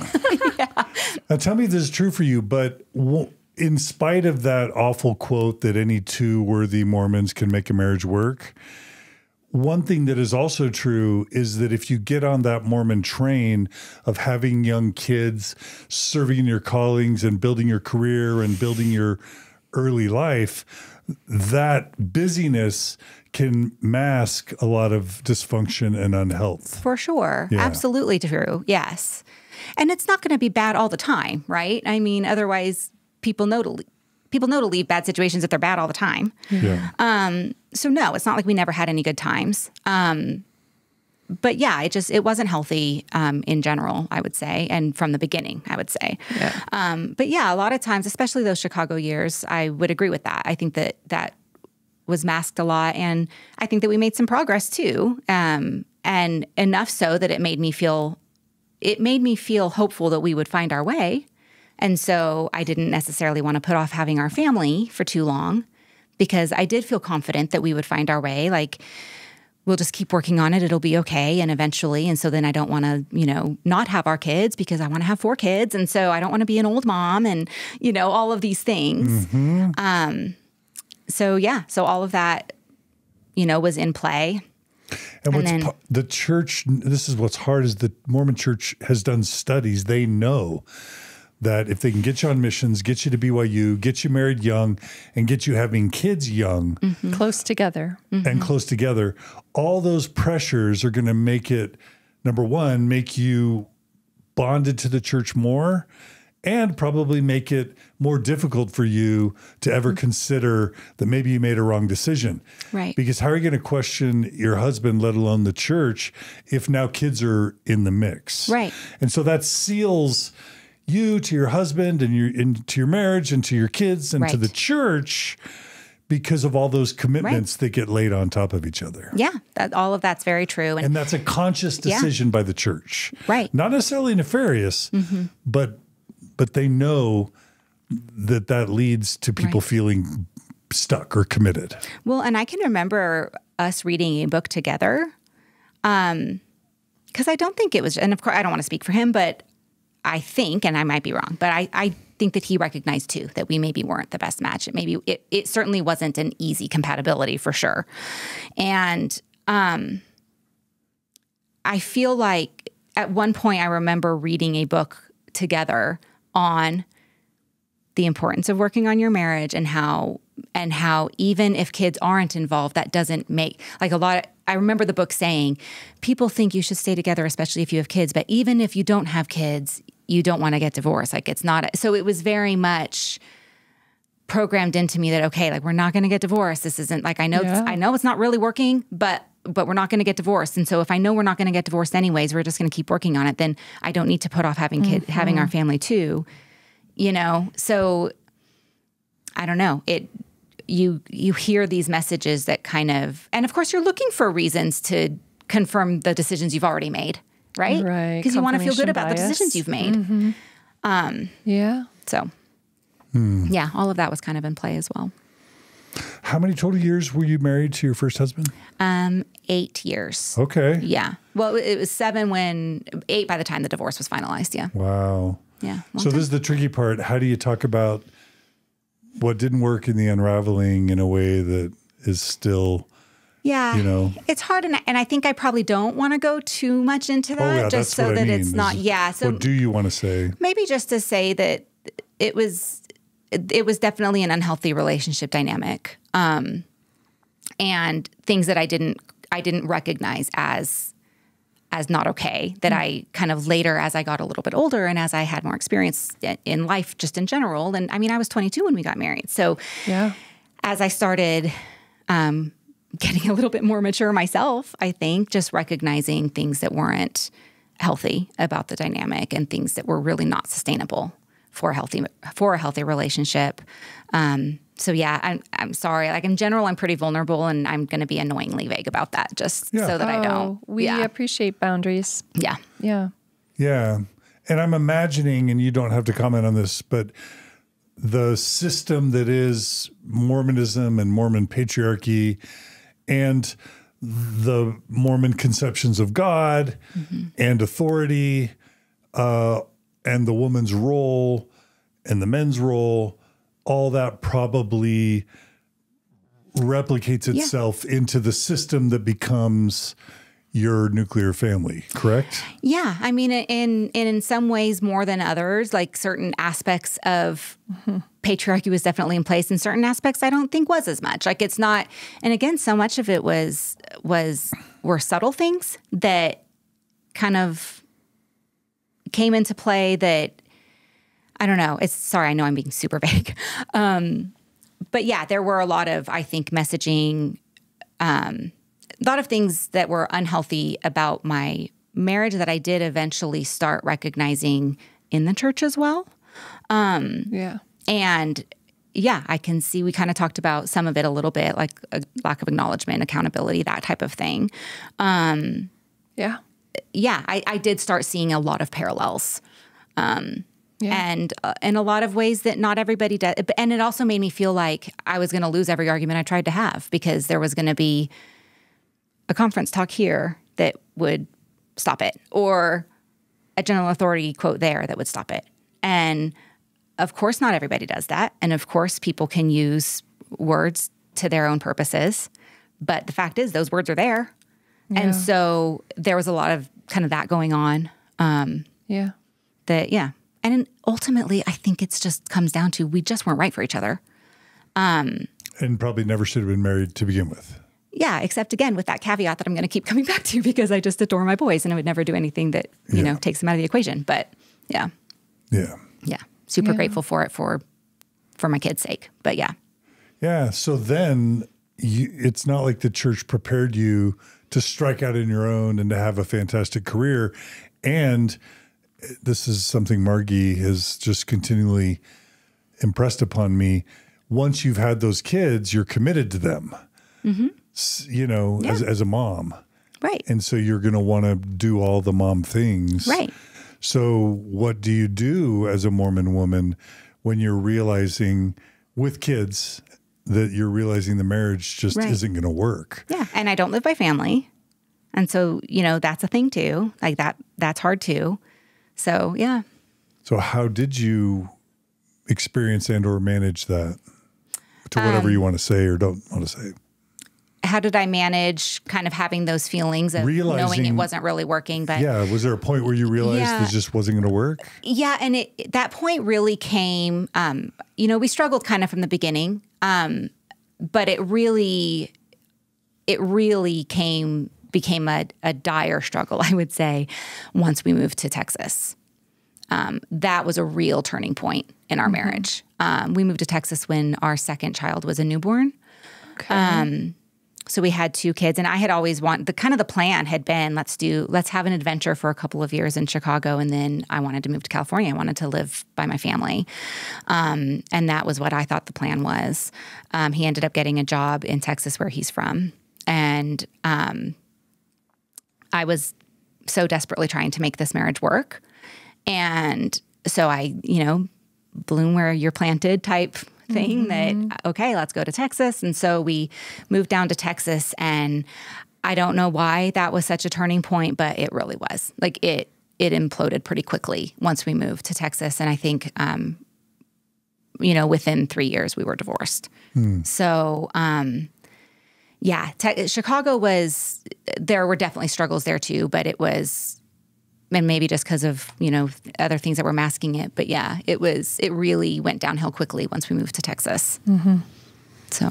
And what are you, if anything, are you able to share about what it's like for a Mormon woman who's had children and is still relatively young and has not been able to really pursue the education or career that they wanted mm-hmm. to now be facing divorce? What can It's what can you share about that? it's scary it's um it's really it's daunting because you know i did have at least fortunately i had three years of experience working for big for big five accounting firms Which is rare. which is which is great because to this day that's something that headhunters will call me that they saw my resume because of that like so i reckon like that was very very lucky but you did that in spite of the culture.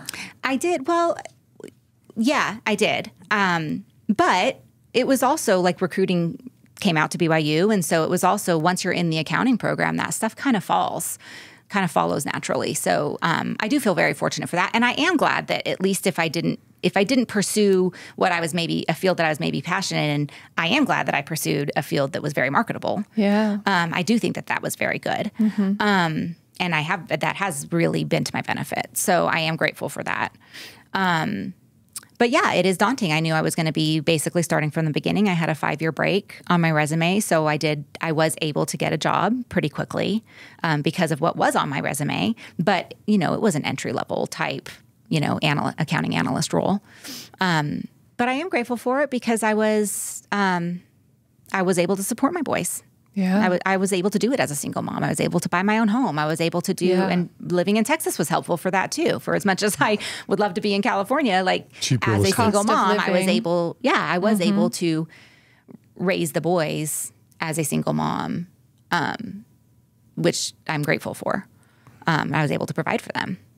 Um, but yeah, like I was very cognizant that had I done this a different way, I would not be starting at the bottom. I would, you know, the people that I started with at, you know, Andersen and then Deloitte were, they were controllers by that point, yeah. you know, and I was a first year analyst.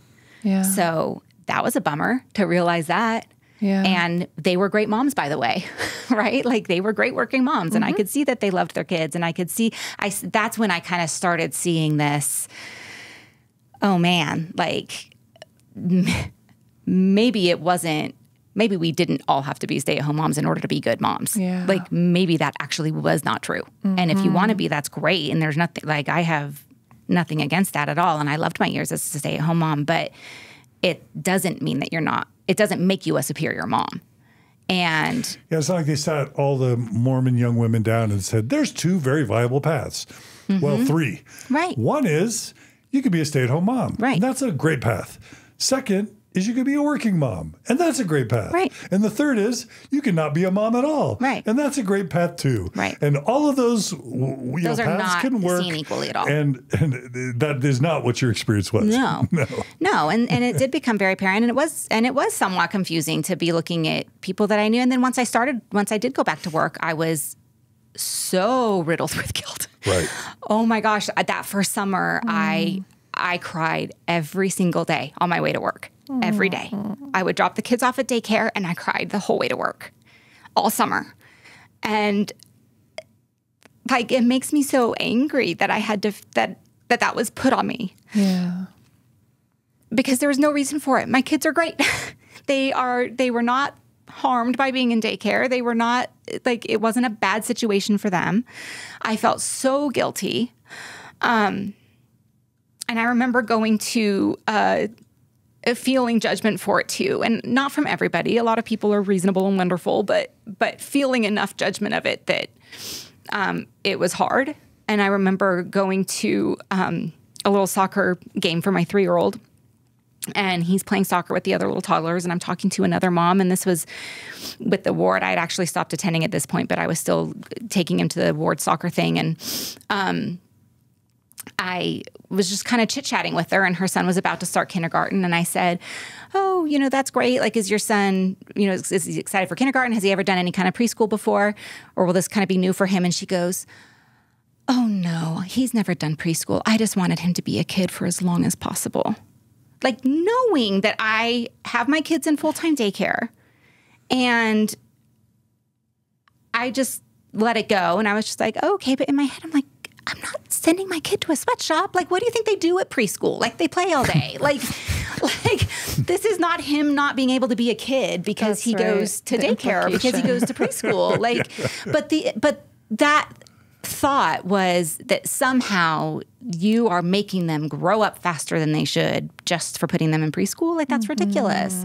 And so it's like i would hear comments like that. I would i would remember these talks that i had heard growing up and that i would you would still hear in general conference maybe in a little bit of a softer way but the implication is still very much there. And even as much as the the great talks about valuing motherhood even those still felt a little bit like there was an undertone. Mm-hmm. A little Right. manipulative. Yes, a little mm-hmm. manipulative. And I don't know, and not not everybody I guess internalizes it the same way. I absolutely acknowledge that I am a people pleaser, I am an overthinker, like I internalize things. I I acknowledge that, but I'm not getting it from nowhere.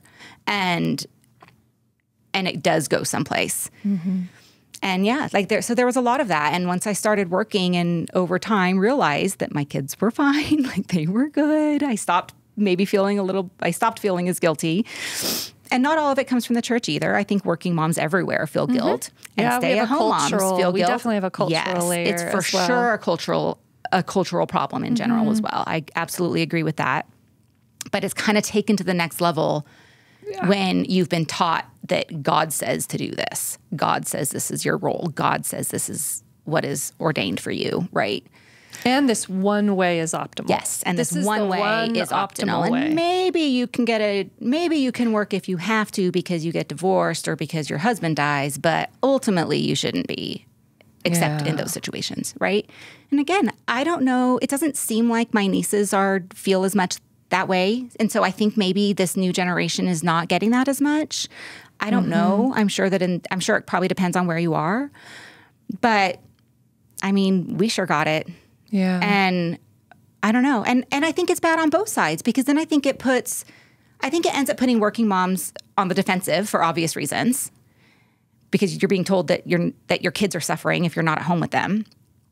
So they're on the defensive. And so then I think maybe there gets to be overreactions because they're defensive. And so then I also remember kind of apparently getting it on both sides. I remember a friend of mine who did work when I was staying at home with my kids telling me I was flushing my brains down the toilet well, that's rude too, right? like that's not okay. And no, I wasn't. And she's we've laughed about that now. And she actually, ironically, is a stay-at-home mom now herself. But like, so we've laughed about that, and she acknowledges that that was a dumb thing to say. But I can see why stay-at-home moms are also defensive, right? Like everyone needs to just stop telling everyone what to do. Is the point?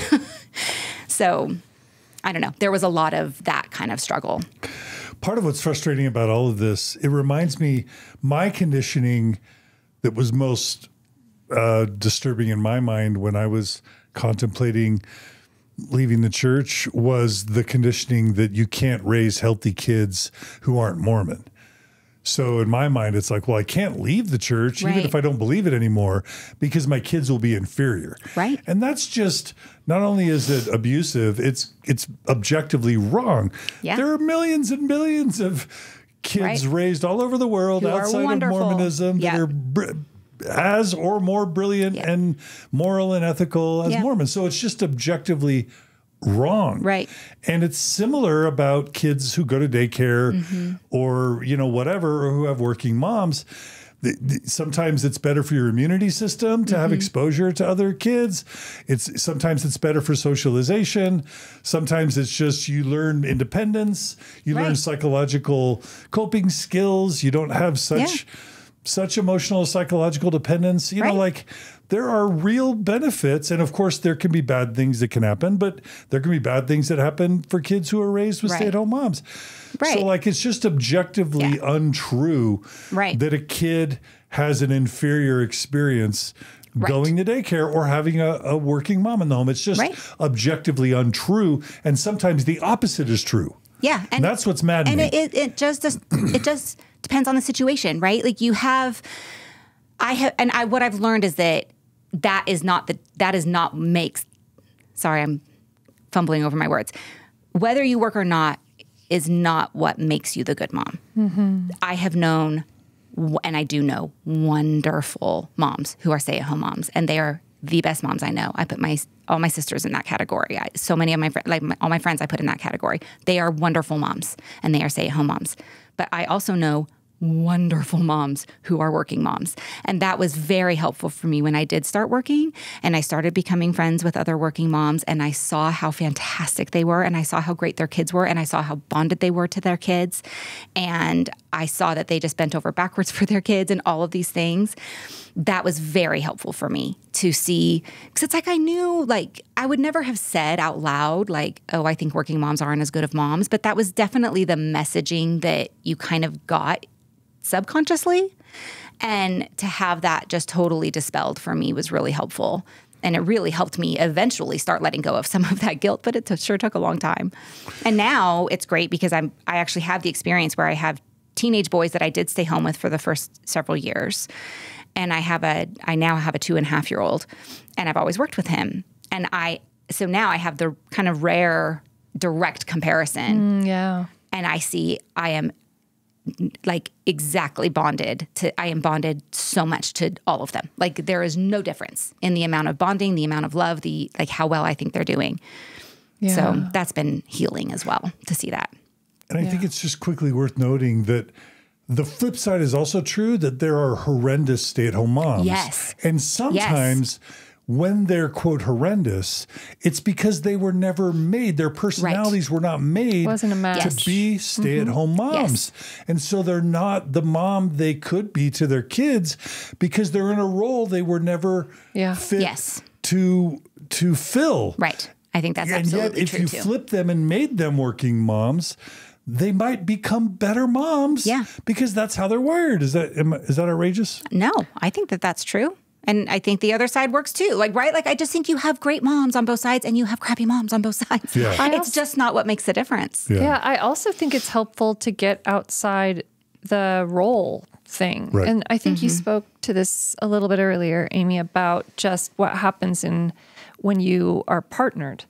What happens when you're able to have a conversation where it's like, okay, now we have a child and here are all the responsibilities and mm. things we need to do and what's what's your desire and what's your personality like? And who h- h- like how do we want to do this? And it's like this creative bonding mm-hmm. endeavor as mm-hmm. opposed to like well you're the woman. So Yeah. if you're if you're a working woman then it's daycare. And because Yeah. the, the assumption is is that if you're you know anyway i just feel like the the gendered role kind of part of this it doesn't help anyone. No, it doesn't. And it's not church specific. That happens, Yep. you know, in That's society at large too. And yeah. it's I think that we're starting to get away from that and we're starting to at least work on that as a society. yeah Um, but yeah, it's it's a real struggle. One of my best friends that I have now is um, a woman that we bonded over this exact issue, and our our sons were were best friends, and they actually met through after school care at the elementary school. So that's been a big blessing in my life because that's how I met one of my best friends, and she and I would call each other on our commutes home and we would we would commiserate about the stresses that are coming with all of this and the you know we would kind of bonded over all of this. Yeah. and it's funny she actually has an experience. She had all of this working mom guilt too and she's never been part of the church so it, it is a societal problem. Um, she had all of this working mom guilt as well and she recently her her two are grown now and she asked her daughter if she ever felt badly that she worked that she wasn't a stay-at-home mom and her daughter goes you worked while I was growing up? Like she didn't even like realize that. Like it was just not even on her radar. And it was just funny. We just laughed about it. Like all like what a waste. Like all of that wasted guilt that we that we, we had and the kids were mm-hmm. fine. Yeah. And I asked that of my son recently too. Like, did that ever kind of bum you out? And he was like, Mom, like no, like that. It was totally fine. Yeah. Really quickly, as we're kind of wrapping up this part one, what about divorce guilt? And there's Oh, yeah. just general social divorce guilt, but then there's Mormon divorce guilt Mm-hmm. because in Mormonism, the stakes of eternal families are so much higher. Yeah. You want to talk about that at all? Yeah. So, um, you know, I'm a people pleaser by nature, and I'm trying very hard to work on that. And I think I've made big, big strides. Um, but yeah, if you want a crash course in developing a thick skin, you should leave the church and get divorced at the same time. That's that's really going to do it, and be a woman. and Yeah, work that's really going to do it. be a working mom, exactly. So I was very, I very much had to work on changing my perspective and on developing, learning what boundaries were, and and all of that. Because what was the Mormon Um, that's been hard. perspective that you were battling? The voices in your head, what were Well, they saying? Well, it's it, you know, I was actually out of the church at that point, so we didn't really talk about the that kind of part yet. Um, but at that point, so I wasn't So as you had much, lost your faith yes, prior to your prior divorce. to the divorce. Do you want to talk about that really quick? sure. Um, yeah, so I call it the Great Shelf Break of 2008. Um, so you know, a lot of people, I think, have things on their shelves that they kind of build up over time. Um, I definitely had a big shelf. And 2008, for whatever reason, I felt like, and maybe it was just because I was in a place where I was like kind of recognizing things now, but I feel like that was a real like things in the church just kept happening over and over again that I just kept adding to my shelf. So, you know, kind of what was on there prior to that, polygamy, certainly, um, you know, these kind of incongruities that I was noticing growing up and at BYU and things like that. But then I moved to Texas in 2006. And in 2007, the FLDS raid happened in West Texas. And I was glued to that. I was so interested in the news on that. And um, I started kind of researching the FLDS church, and I learned that their first prophet after the common prophet that they share with the mainstream LDS church was a man named um, John Woolley. And I have Woolleys in my family. So I called my dad and I was like, um, is this the same Woolley family? And he said, well, yes, like his father is a is also from our line. So it's like a different brother. And the reason I'm bringing that up is because it was very jarring to me. It made me feel like that could very easily have been me. Mm. If only my ancestor had gone his brother's route rather than the mainstream route, that could have been me.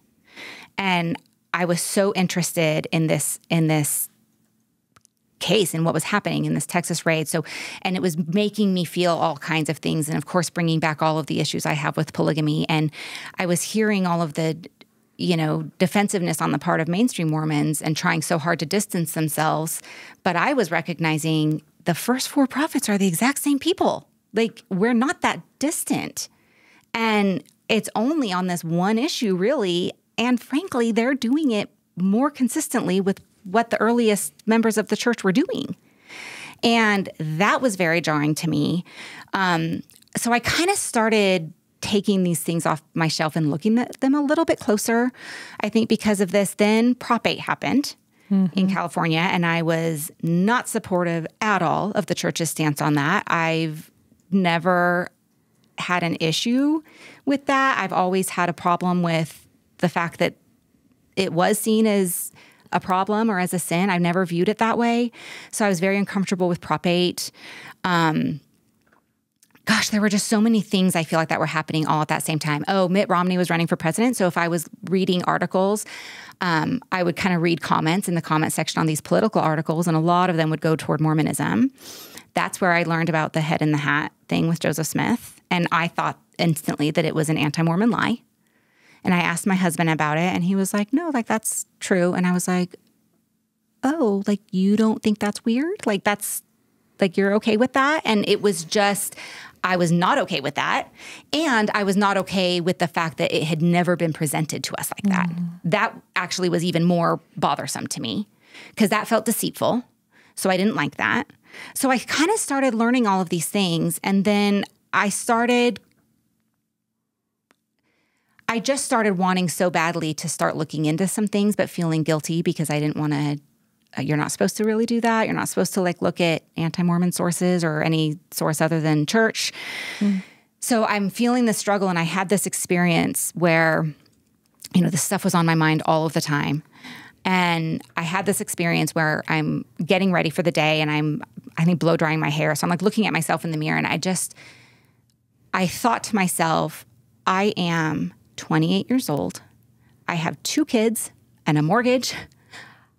I can actually decide whatever I want to read. Oh, and it wow. was this moment where I was I felt so sick of feeling controlled and manipulated and like I was being told what to do in one way or another. I was so sick of all of that mm-hmm. and I was done with it. And I just let that guilt of wanting to research go completely and I was I decided to start looking into some of these things that had been on my shelf for a long time and some of these new things that were adding to my shelf. And I think I mentioned too the PBS documentary, The Mormons. I mentioned that earlier. That was also happened. I watched that during that period. There was a documentary on Freemasonry that had nothing to do with Mormonism that I thought was interesting because I had just read the Da Vinci Code. And so I was like interested in that kind of stuff. And so I was like, oh, I'm going to watch this. And I watched it with my mouth open the whole time even though it didn't say a word about Mormonism, because I recognized all of the similarities between the temple and mm-hmm. and Freemasonry, which I had never known about before. So I just there were all of these things happening that were making me so badly want to like examine it more and look into it more. And I finally gave my permission myself permission to do it. And once I did, I just started learning even more. and um, I just it was kind of the point of no return at that point. Um, so at the time, I I discovered a website called MormonThink. Um, which is still here today, but this was 15 years ago, so it was very like rudimentary. All websites were kind of rudimentary then, and at the time, it was arranged like a wagon wheel, and each spoke of the wheel was like a different um, typical issue that like people might have of concern in the church. So one was, you know, Book of Mormon, one was translation process, one was the Book of Abraham, one was one was lying for the Lord, which I was really interested in. Um, so I started going through them one by one, and I I liked this site because it was really important to me to feel like I was researching in as dispassionate a way as I could and I was really I didn't want to read anything that felt biased. And I liked the way that they constructed this because all it did, you would click on the issue, it would read the kind of critical point of view or the reason people had an issue with this topic, and then it would read the church response to it or the church point of view on it. And I really appreciated that. It gave no conclusions, it gave no like adjectives to it, no nothing like that. And so I would painstakingly go through and I would read all of the footnotes. I would cross check everything on the critic side to something I could find on the church's side. I would try to cross reference everything. If I saw something that was a you know problematic quote from the Journal of Discourses, for example, I wouldn't just assume that that actually did come from the Journal of Discourses. I would actually find it on the BYU site or on the, I would try to find it somewhere else that I knew was church approved to make sure it was all lining up. And after a while, I stopped doing that because it always did. Like they, it was, they were not saying anything that was not true. And I just, I started going through it and really, in a way, it felt so liberating because I was like, okay, like maybe there's a reason some of this stuff hasn't yeah. added up for me. And so I went through, I think by the time I got to the book of Abraham, I was like, okay, like I don't know what else to conclude here. And I had another experience where I will actually call it the most spiritual experience I've ever had. Um, I was praying and just thinking about all of this and kind of realizing, but not even wanting to say it out loud to myself in my own bedroom, in my own company, that I don't think I believe the church anymore. And I was scared to say it out loud, even though it was only me in the room. And I finally did. And I said it out loud.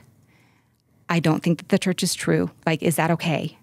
And I remember feeling this overwhelming feeling of Amy, you can choose not to believe it. It's okay.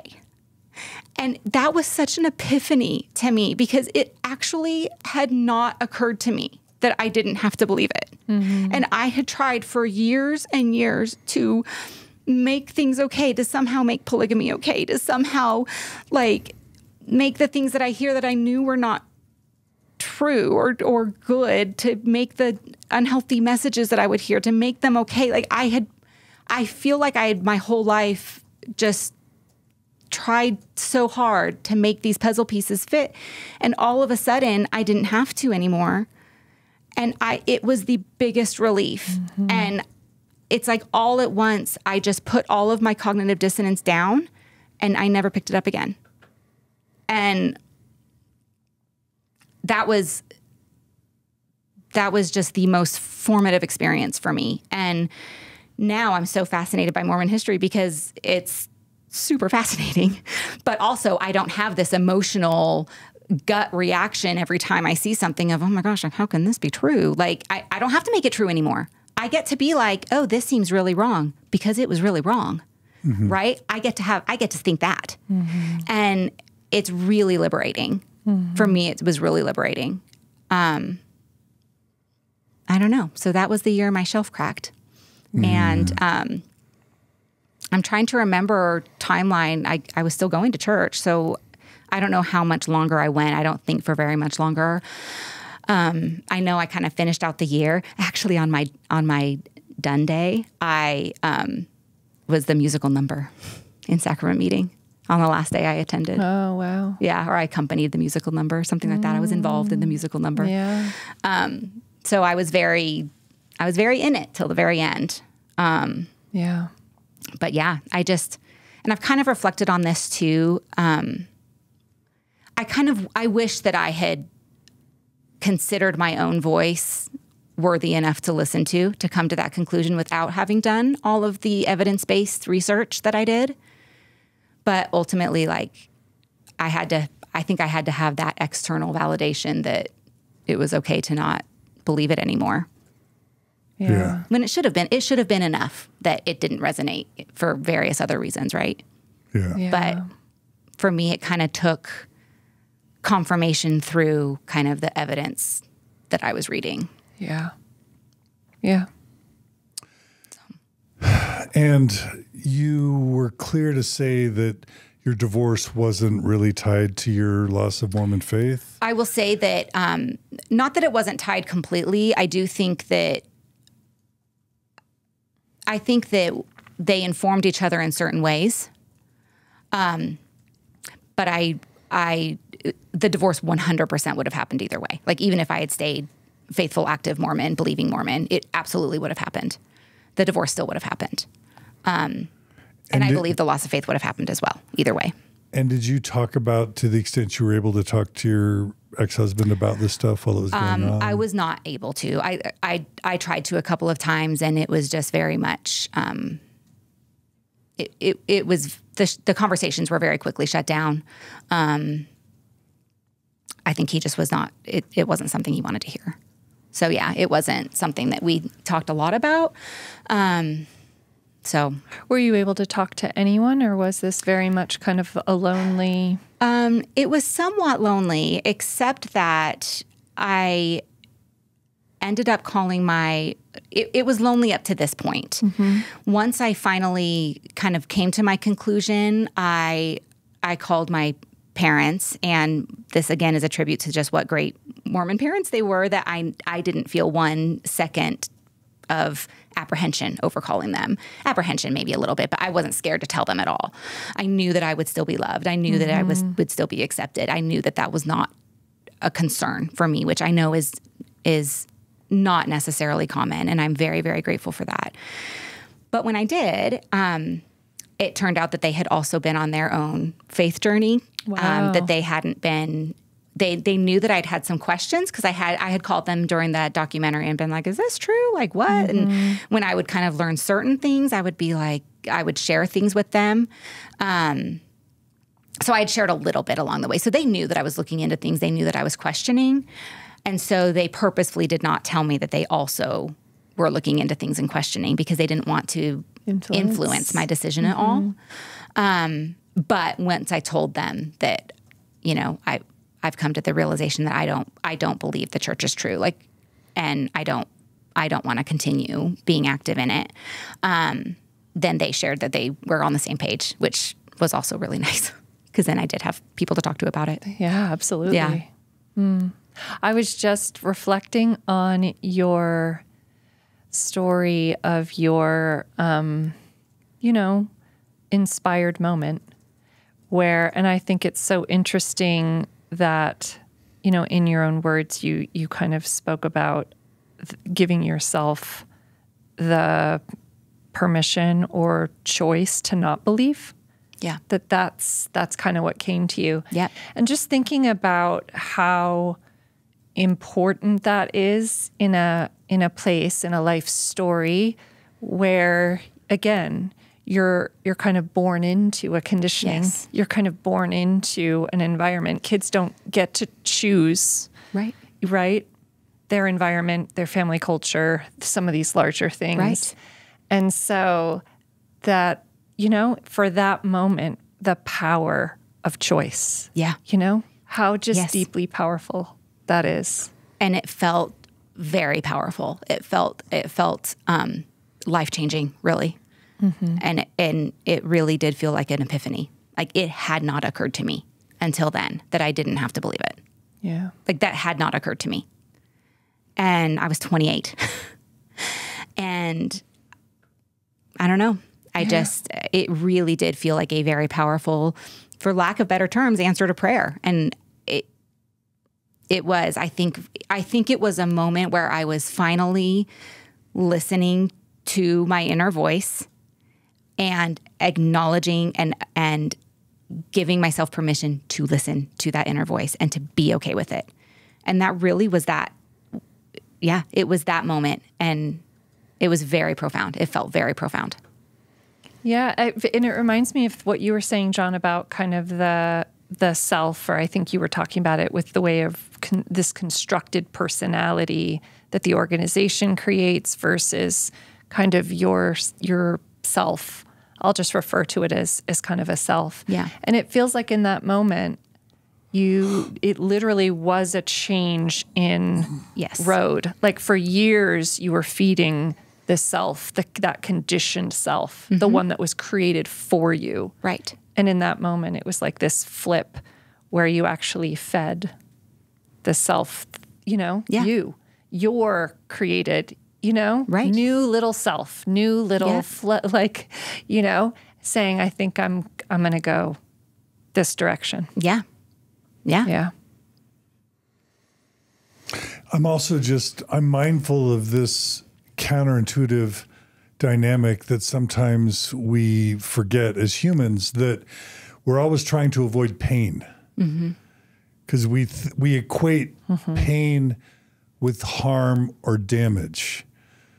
But the truth is sometimes pain leads to growth and not da- the opposite of damage, which is growth. And so you did a super hard thing that was very painful. You went against the conditioning, you went against the conformity, you went against everything your community and probably family and society was all telling you to do. It was super painful and difficult. And yet, instead of leading to damage, it led to incredible enlightenment and Right. growth And liberation. self empowerment. Yeah. And so we we need to not equate pain and difficulty with damage, Right. But instead realize that, and of course, excessive pain can lead to damage, but the right amount of pain Yeah. with a difficult decision can be the secret to incredible growth, Right. right? Absolutely. Yeah. I'm grateful every day for it. Like it's Yeah. And yet it was super hard. it was I super hard. It was. it Scary was. and hard, and And I feel um you know, in a way, it's you kind of asked about how the divorce and the leaving the church kind of played in together. In a way, at the time, I felt frustrated that both things were happening at the same time because it felt like it felt like adding insult to injury. Like it was it was too much pain at one time.